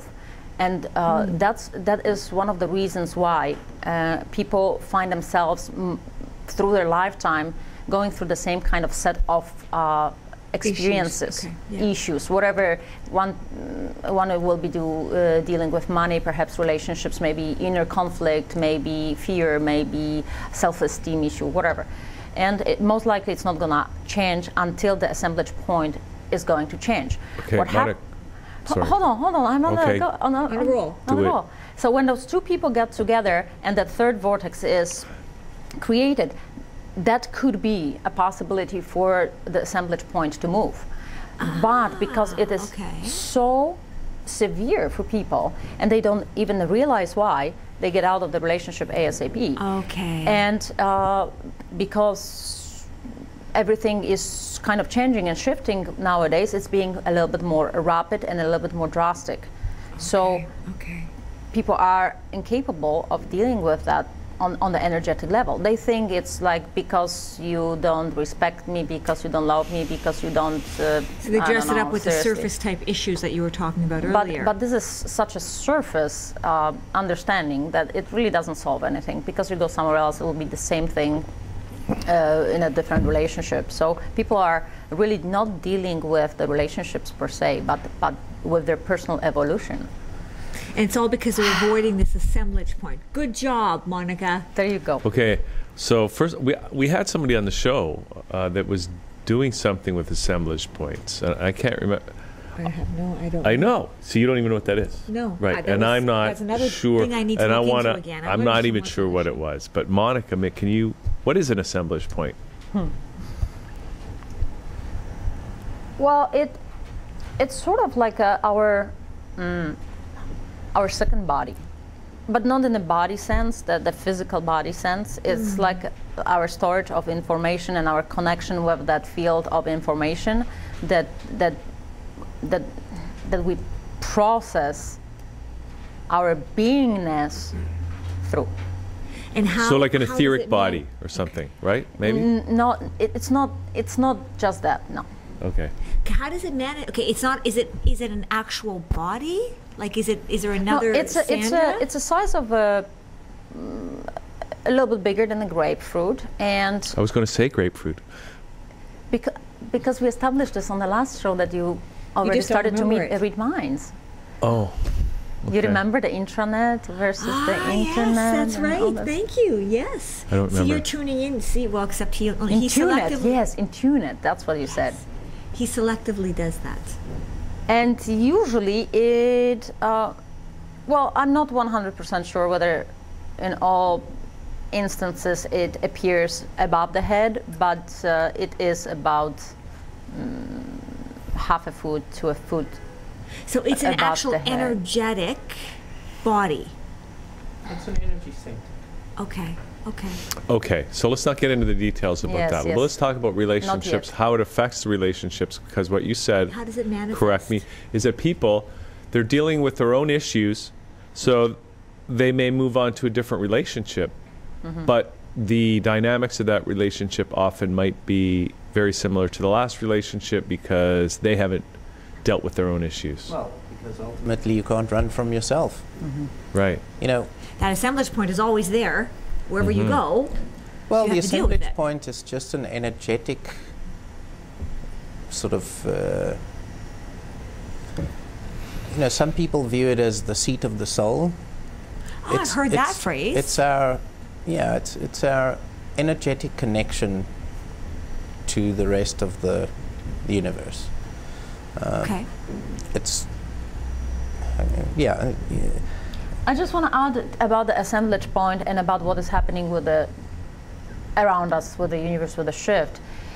It, its purpose is to actually force the assemblage point to move, because we were unable to move through our evolution that assemblage point by ourselves.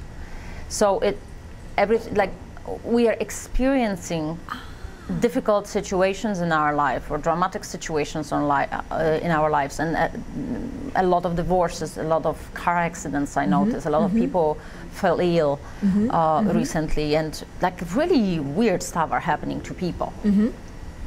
but in order for that assemblage point to move, you either have like enough personal power to do that yourself, or you have to be jolted through a certain experience, and then there is that possibility of that happening. Okay. And and, and that's why like the universe is almost pressing on itself to evolve further, and it will bring up a certain Pressure pressure Essentially. to to to get you to move. do its job So the pressure itself. is manifested in life situations like relationships Yeah. Or Ve- jobs or whatever. Very much. It takes the form of our dynamics, yeah. Okay. So, so you had mentioned that we couldn't do it ourselves for most of us. So we're Mhm. getting a jolt or we're getting assistance. Mhm. Assistance from outside of us. What do you mean by that? Very good question. Okay. Well, the, we we are living in a holographic uh, universe. Everything on the outside is inside. inside there is is no such a thing, the outside and the inside, and that's where we fall a little bit uh, incorrect on the same like understanding of God. Where is God? Is it outside? Is it inside? whether people are doing something to us, whether life is happening to us, or is it really how we process the information that we are uh, creating this?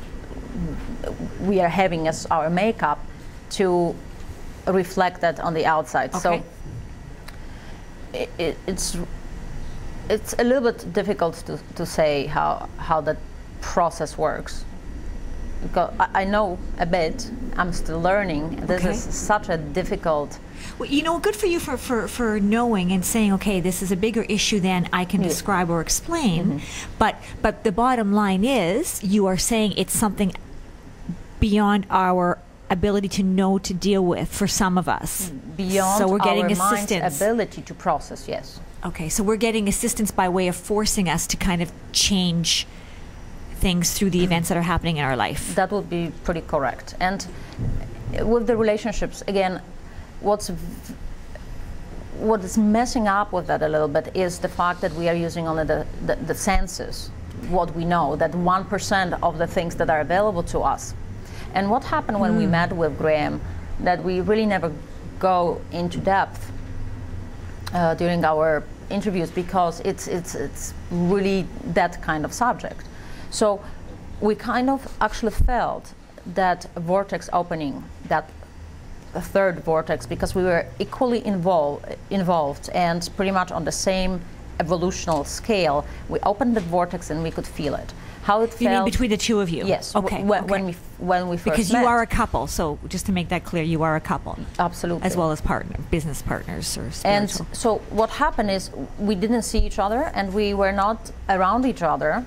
We were on the exact opposite sides of the globe. Yet that vortex was very uh, powerful. We could sense it. We could feel Mm. it. Uh, we were pretty much high for about four months, and uh, thank goodness that we were not around each other because it could burst us to pieces. That's how it felt.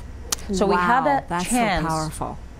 to process certain information and kind of upgrade to the level that we needed to we were able to function together okay and in that vortex in that space of uh, beyond our reason we were able to pass by space and time even we had those moments when it was possible Wow, that's so neat. so it was quite a quite a journey quite a so, journey so when you guys finally did, because you were in South Africa, correct? That's correct. right, yeah. Okay, so when you finally did hook up personally Mm-hmm. within each other's space for the first time, Mm-hmm. what did that feel like?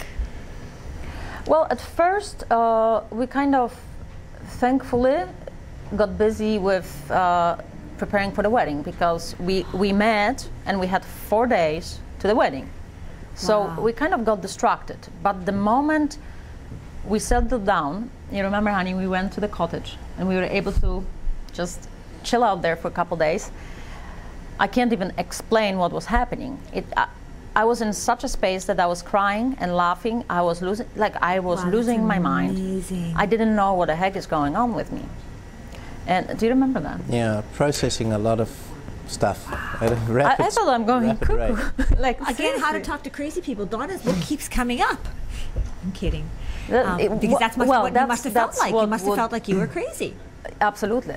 I, I, uh, it was not a feeling that, not a usual feeling that my senses were able to identify with Wow. before. So, it, but it was very taxing and very difficult to process. Very, very. So we were processing it for about six months, I think. to to even be quite okay with. And same experience for you, Graham? Um, I think I had a little bit of a calmer experience. No kidding. Look at the look. At, I, I can't even imagine you getting overjoyed or excited because you you have this calm demeanor that is just so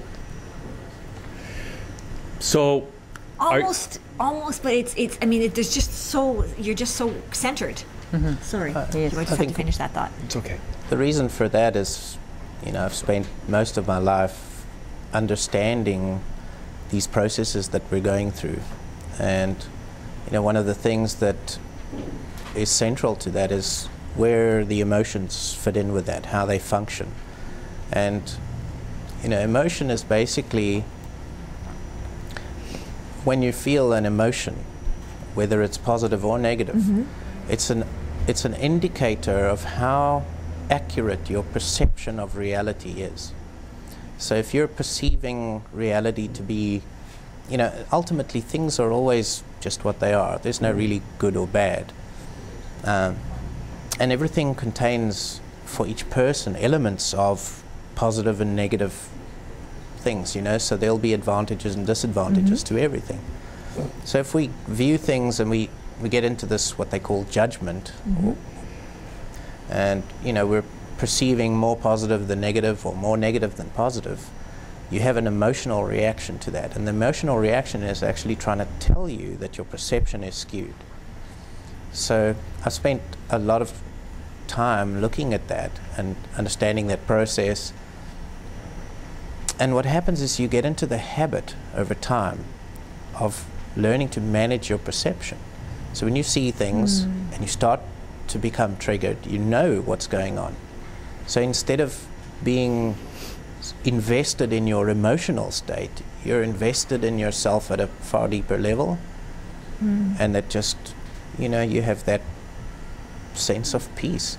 And I think, you know, spiritually, that's what they're talking about. You could be standing in the middle of a war zone, and you can still feel that inner peace because you're at a level of, of seeing and understanding that is just But does so that does that mean you're not feeling anything, Graham, or does that mean you feel more and you just don't attach? Well, feelings and emotions are distinctly different. You know, um, you can have feelings that are totally devoid of emotion, and we've all had that experience. So we get confused between feelings and emotions a lot of the time, and it's it's important to make that distinction. And sure, I have a lot of feelings. I just don't have uh, huge emotional swings anymore, because it's kind of become a habit for me to review my perception until I can make sense of it enough that it's not a big charge. Guys, listen. amazing. Yeah, I mean, we could talk all day, but guess what? I mean, we've time's up. Our time's almost oh up. my gosh. But you guys, I mean, you guys sound, and I just want to ask you very briefly if you can just, because you guys uh, obviously have an uh, amazing relationship, and I know there's a big story behind it. But what can you uh, uh, te- uh, recommend to people, pe- uh, to couples? A, lo- a lot of couples, I don't know who's got a perfect relationship, but is it Graham, and uh, maybe we'll start with you, and then we'll get something from Monika. But just very briefly, like, in may- I, and I know it's unfair, but maybe in 30 seconds, 30 what do you, what can you tell to, to people who are in relationship that are trying to deal with their uh, situation? I think the important thing to understand is, you know, very much there's a misconception of the whole concept of love. And really, to truly love somebody, I mean, really at a deep level, only starts to occur when you understand how that person has been instrumental in your process of growth. And then, and then when growth, do people grow apart and then they have to go find another partner? Or is that a cop out? I think, you know, in, in most cases, that's a case of where people are trying to avoid the specific challenges they're supposed to be dealing with individually, Mhm. and they'll just replace it somewhere else. So Okay. I- but on the other hand, you do get cases where somebody is actively engaged in their personal growth, Yeah. and the other partner is not particularly actively engaged. In fact, they're trying, in a sense, to remain juvenile. They're trying to Mm. not grow. To They're trying to growth. stay who they are. I And know then some people like that. you do. You kind of you, you get to a point where you grow apart. where this person can no longer serve you in terms of functionally pushing you to grow anymore. Okay. So it becomes stagnant. All right. Okay. Monika, I don't. Uh, we're gonna have to just get something very briefly from you, and then we're gonna tell seconds. people how to get in touch with you guys. Okay, so two seconds. Like w- what came to me, it's like basically because in the relationship, especially, it's very evident that we are basing everything on the past, and we are forget- forgetting that it's all about the present moment and how we build up to that moment. We are completely a new species. And I remember when I asked Graham uh, when we met, I'm like, "Honey, how do you know it's going to last forever? like seriously, we don't even know each other." And, and and I, you know, my, my reasoning mind, of course, kicked in. And he said, honey, it's not about building it up for a lifetime. It is waking up every morning and making that decision fresh. And I think if people were able to start from where they are today and being centered and looking at the situation, what can I do today? That would look completely different as well. Not looking back. Beautifully, beautifully Okay. put. Just w- before you find out more information, maybe next time we can talk a little bit about emotions versus feelings Sure. and go into that kind of. And you guys do more than just relationships as well. You do all- you do everything. So how do people get in touch with you guys? Uh, best way is to uh, find us on our website at globalawakeninginstitute.com. We have amazing tools in there, a lot of information. What I would suggest to check out is our blog. We do talk uh, a lot about uh, emotions and our spiritual evolution, our personal growth. So we have a lot of very amazing articles in there. Uh, you can also subscribe to our free master tools, and you can just sign um, at the web on the website. And you can also find us on the Facebook under Global Awakening Institute fan page. Fantastic. I'm on that fan page. Okay. All Yeah, right, what, guys. What we thanks try for and do this. is we really try and make all this information practically applicable for people because That's important. You know, it's one thing to talk about it, it's Yeah. another thing to actually make it a part of you and your life, right? That's the challenge. Okay, guys. Thanks for coming in Thank today. you Look guys forward so to the much. next That was time. It was a great chat. Thank you. Thank you, thank Thank you. you. And we're going to watch a little video just to prove that perpetual motion machines ca- are real and they actually work. okay? Because a lot of people think it can't happen, but it can happen. We're going to watch this video I come don't back. know what that is. Shawn Dalton's going to be on the show. I don't know if Joe's going to join us, but uh, Liquid Lunch continues right after this. Joe was in the house.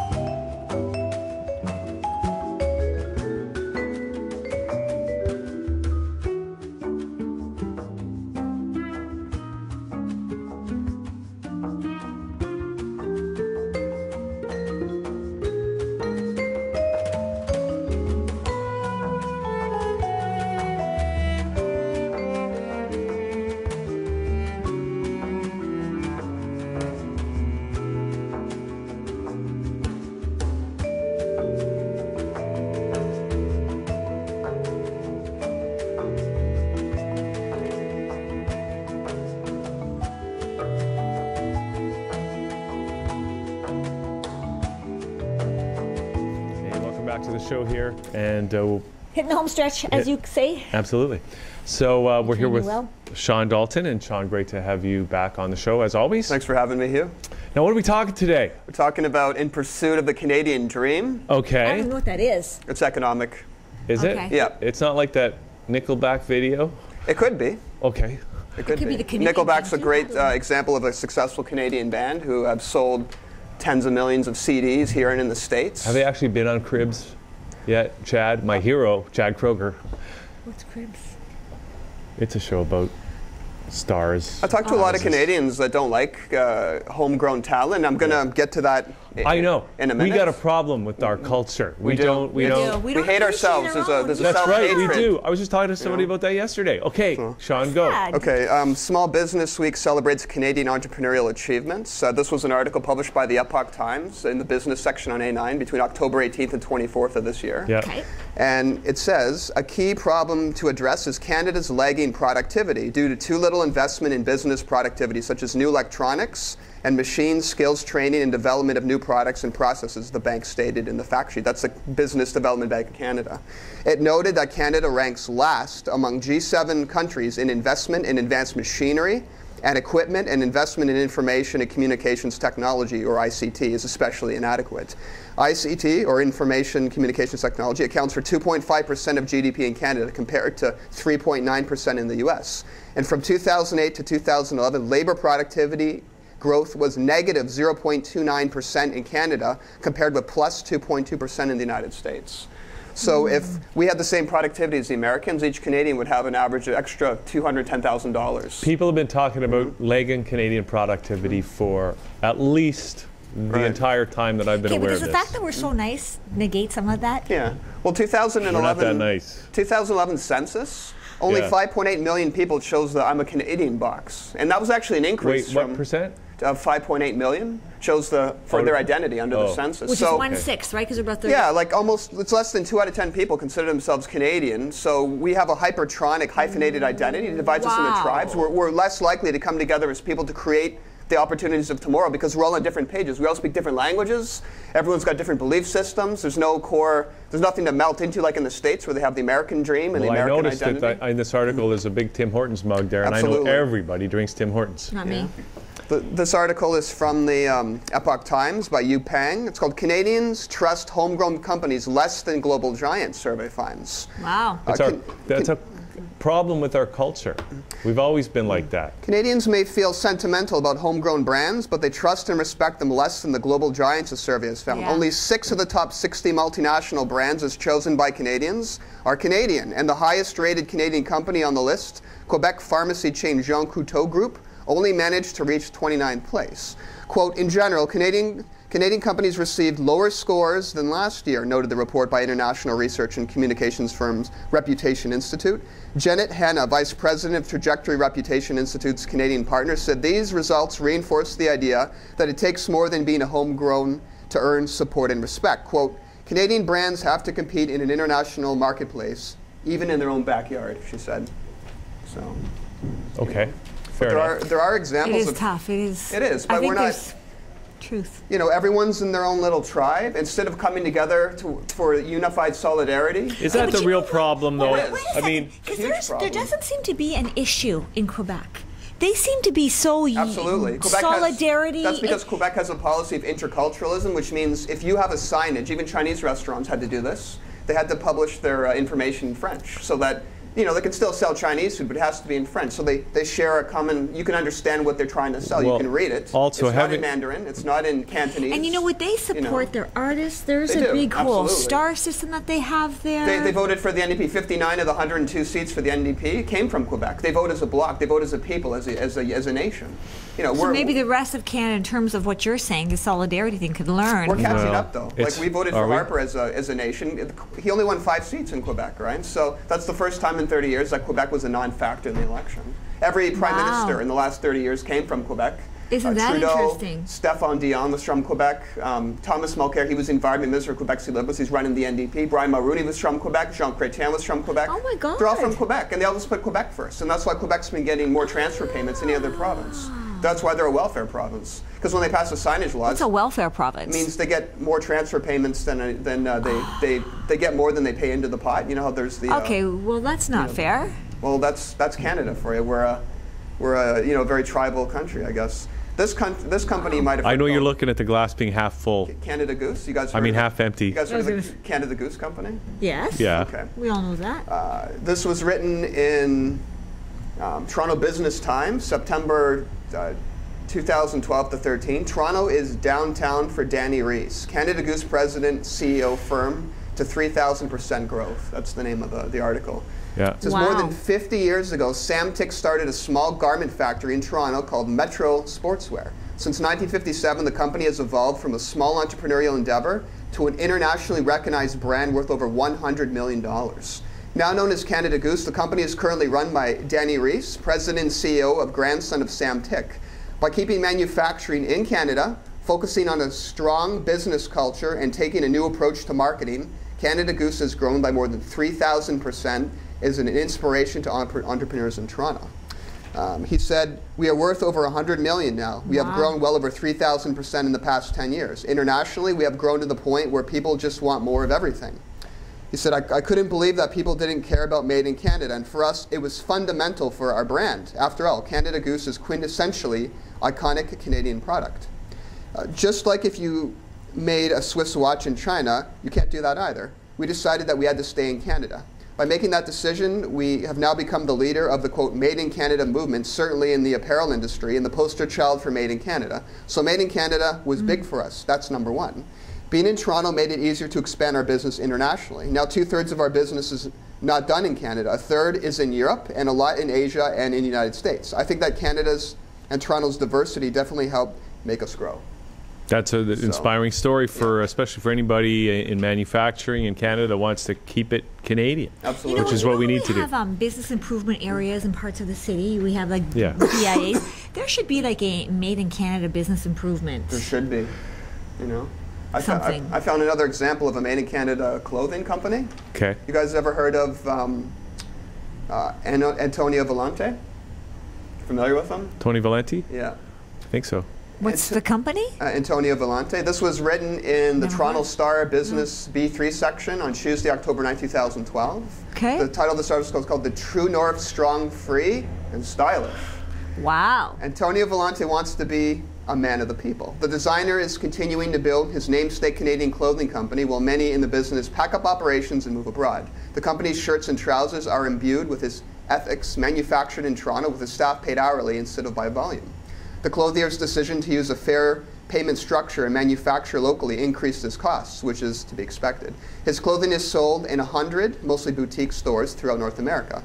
Larger retails often import finished products such as shirts, trousers, and suits duty free, while Volante has to pay 10 to 20% tariff on the raw materials he imports to produce his Canadian made products. Quote, it increases the price of our shirt, which in turn we have to pass on to our customer, he says. While other costs are directly related to quality, the tariffs add to price tags without increasing value, making his clothing more expensive to make and ultimately cutting into profits by nearly 20% per shirt. Volante only charges between 175 and $295 for his products, the same price range as Hugo Boss or Can- Canali. But the profit margin is dramatically different from companies that outsource their labor. Born to Italian immigrants and infatuated with menswear from a young age, which a lot of Italian people are, and passed on other things. Uh, Volante opened his first plant in 2002 and launched the Antoni Volante brand in 2009. As more companies were closing down their manufacturing facilities in Canada, it became increasingly clear to me that we were closing them for the wrong reasons, says Volante, hmm. who pays workers 13 to 18 dollars an hour on top of standard health and other benefits, including profit sharing, by the way. Other quote other companies Wow. don't have those costs, he said, adding that many overseas textile workers only make one or two dollars an hour, which is why they have to work 20 hours a day in China and Hong Yeah. Kong and Pakistan and Bangladesh. Volante's factory has 50 clothing makers, about half of which are from Vietnam, while the rest hail from Italy, Greece, and other countries. The designer prides himself on employing many non-English speaker, speaking immigrants who have trouble finding work in other industries due to language barriers. Also, we don't recognize foreign credentials, so people come here as doctors, they end up driving cabs. There's 200 right now in Toronto Yeah. who are doing this. Okay, but Shawn, okay, uh, let's let's talk about this. So, so these are some good examples about Mm-hmm. uh, about where you're talking about the pursuit of the Canadian dream. Like, let's let's. What's your main thesis here? My thesis is you don't have to go overseas to find it. You don't have to make it somewhere else. You can make it right here, and you can add value added. You can make it high quality, and you can charge a high price. And if you have good marketing, you get the message out to the public. You can you can make a lot of money. Sure, but I think it also it would be a great idea if it's it's fine for one company to do that, but it's also easier said in a way than done when you're encountering uh, like the high cost of doing business in Canada, the high cost of Okay, labor well, relatively. Clearly, basically, w- this is c- clearly a question of not just the bottom line, right? This is a question of ethics and values. well, so that's the pursuit of the Canadian well, dream. i- It's If you're in business, having- it's a question of survival.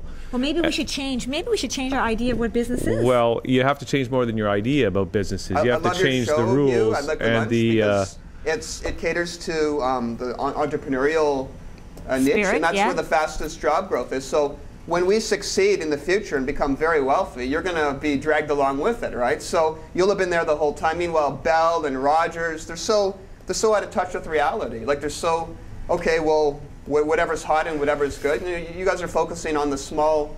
The small markets, which could be tomorrow's leaders, Sure, but? I understand why uh, entrepreneurship is growing, largely because uh, the big companies are downsizing, as those dinosaurs are slowly dying, and yet sometimes I think that the entrepreneurs, uh, the small businesses, are not getting the support that they really need. I think it would be a great thing if the governments, the federal government and provincial governments, started to support Canadian manufacturing. But when you get into official policy, even of the conservative government currently, it's like, no, globalization, decrease tariffs, don't protect the domestic market, let the jobs go overseas. But Doesn't matter why I what think- government is in power. When it comes, when push comes to shove, that's what it's all about. We, we have to organize it. You know what? We can too. We're, we're the number one connected uh, people to the internet, 68% according to ComScore. We can mobilize and reverse this trend easily. It'll take a while, but it's possible. But, how, are we, go- how, how are we going to do it, Shawn? Specifically, realistically, what is it going to be? I do think we have a cultural problem. I, I still think that although we say we talk about Canadians don't respect themselves enough or, or, or, or prefer to do business with foreign companies, it's a cultural mindset problem that I think's been here since day one in this country. Well, every time uh, I've got a section in my book on honor killings, and I believe that multiculturalism encourages people to live life um, outside the mainstream and contrary to our values, and you end up with these kinds of things. So, But I'm not sure that there are these. I'm not sure that I understand the, the issue of of cult, uh, you know, uh, multiculturalism problems when people don't feel integrated and get into little specific cultural it- and it- linguistic silos. It's a distraction, Hugh. But- like, you come to this country, you're no longer an Italian, a German, a Chinese. I hear you. You have a language Shawn. a I, I hear you. and, I'm just you saying. I'm not sure that that is the cause I think it- of this cultural problem that we have as a country. I think it would be great if we had were able to really step into our Canadianness and be proud of it and be working towards doing more of it, and that would encourage the newcomers to, to participate more. I think that'd be a great thing. It's- it's- I'm just not sure how we're going to do that. It needs to start in the school system. They need to teach Canadian history, the good and the bad. They need to give people cultural capital. They need to tell people how this country operates and what it takes to be successful here. There, there has to be some effort on the government also to, well, to provide may- that view. And you know, maybe there needs to be. I mean, everybody's bringing in their, their different cultures. A- And they're, that seems to stay with them when they come here, But we- we largely that's because we don't have a We- culture. no, Maybe we need we to start have one. to. We don't encourage our own narrative. you know so- I don't know what our culture is other than hockey. all right, it's basketball, it's baseball, it's okay, that's Northern news to me, and I've been born. I was born here. Canoeing. It's canoeing. It's the uh, it's our it's our the rock music. It's the liter- It's our um, publishing industry. It's the best-selling authors, the poets, the You writers. know, there is no. It's our democracy. There is no stereo. Well, I mean, there's You a stereotype the of being of law, Canadian, but you, you know, know, what? When you think of Murder's illegal. You can't kill your family if you if they're no, but when you think of or- somebody from England, there's a certain sense of who a sensibility. When you think of somebody who's American, there's a sensibility. When you think there's somebody of somebody who's French, there's a sensibility. In Mexico, same thing. definitely know who Quebecers are because they're noisy quackers. Quebec, yes, but in Canada, no. We just quiet, passive. I think that's changing. I think we're sick and tired of it, and we're moving in another direction. And Or is it that you're sick and tired of it? Yeah, I am actually. I am sick and tired of it. I'm, I'm sick and tired of being a hotel and a doormat, and I want my I want my identity to be. I want to see my identity expressed in other people's ambitions, and I want to share my values with other people, and I want to see those reflected back towards me. Are you finding that hard to do? no, it's, I, I see changes, but it's, we've definitely erected lots of barriers. When we promote other people's cultures, we neglect our own. And you can't respect yourself unless you, you can't respect other people unless you respect, respect yourself, yourself. first. You have to, we have to put Canada first, and say, you know, you're coming to this country, welcome, as you said before in other, other debates, we'll embrace you, buy into, our, buy into our narrative, you know, become a part of the next chapter. It doesn't have to look like the last one, But if you're telling me that in the last census only 5.8 or 5.9 million people called them Canadian first, Right. are we really changing? You're saying you That's up from about you know half a million to one million. That's a massive Oh, increase. really? It's That's a huge increase. Oh, I didn't know that. And there was a wow. 60 to 90 percent, pl- yeah, 60 to 90 percent plunge in almost every other identifiable ethnicity. So people are like Okay, feeling more okay, Canadian now. okay, That's okay. a trend. So Okay. you know maybe because Canada Goose is so popular and everyone's so worried about the Research and Motion company going under, like people feel anxiety about these things because they feel a connection, a cultural connection to these companies. Boy, all of a sudden they're going to get inundated with resumes because no, I bet you their turnover rate is really low.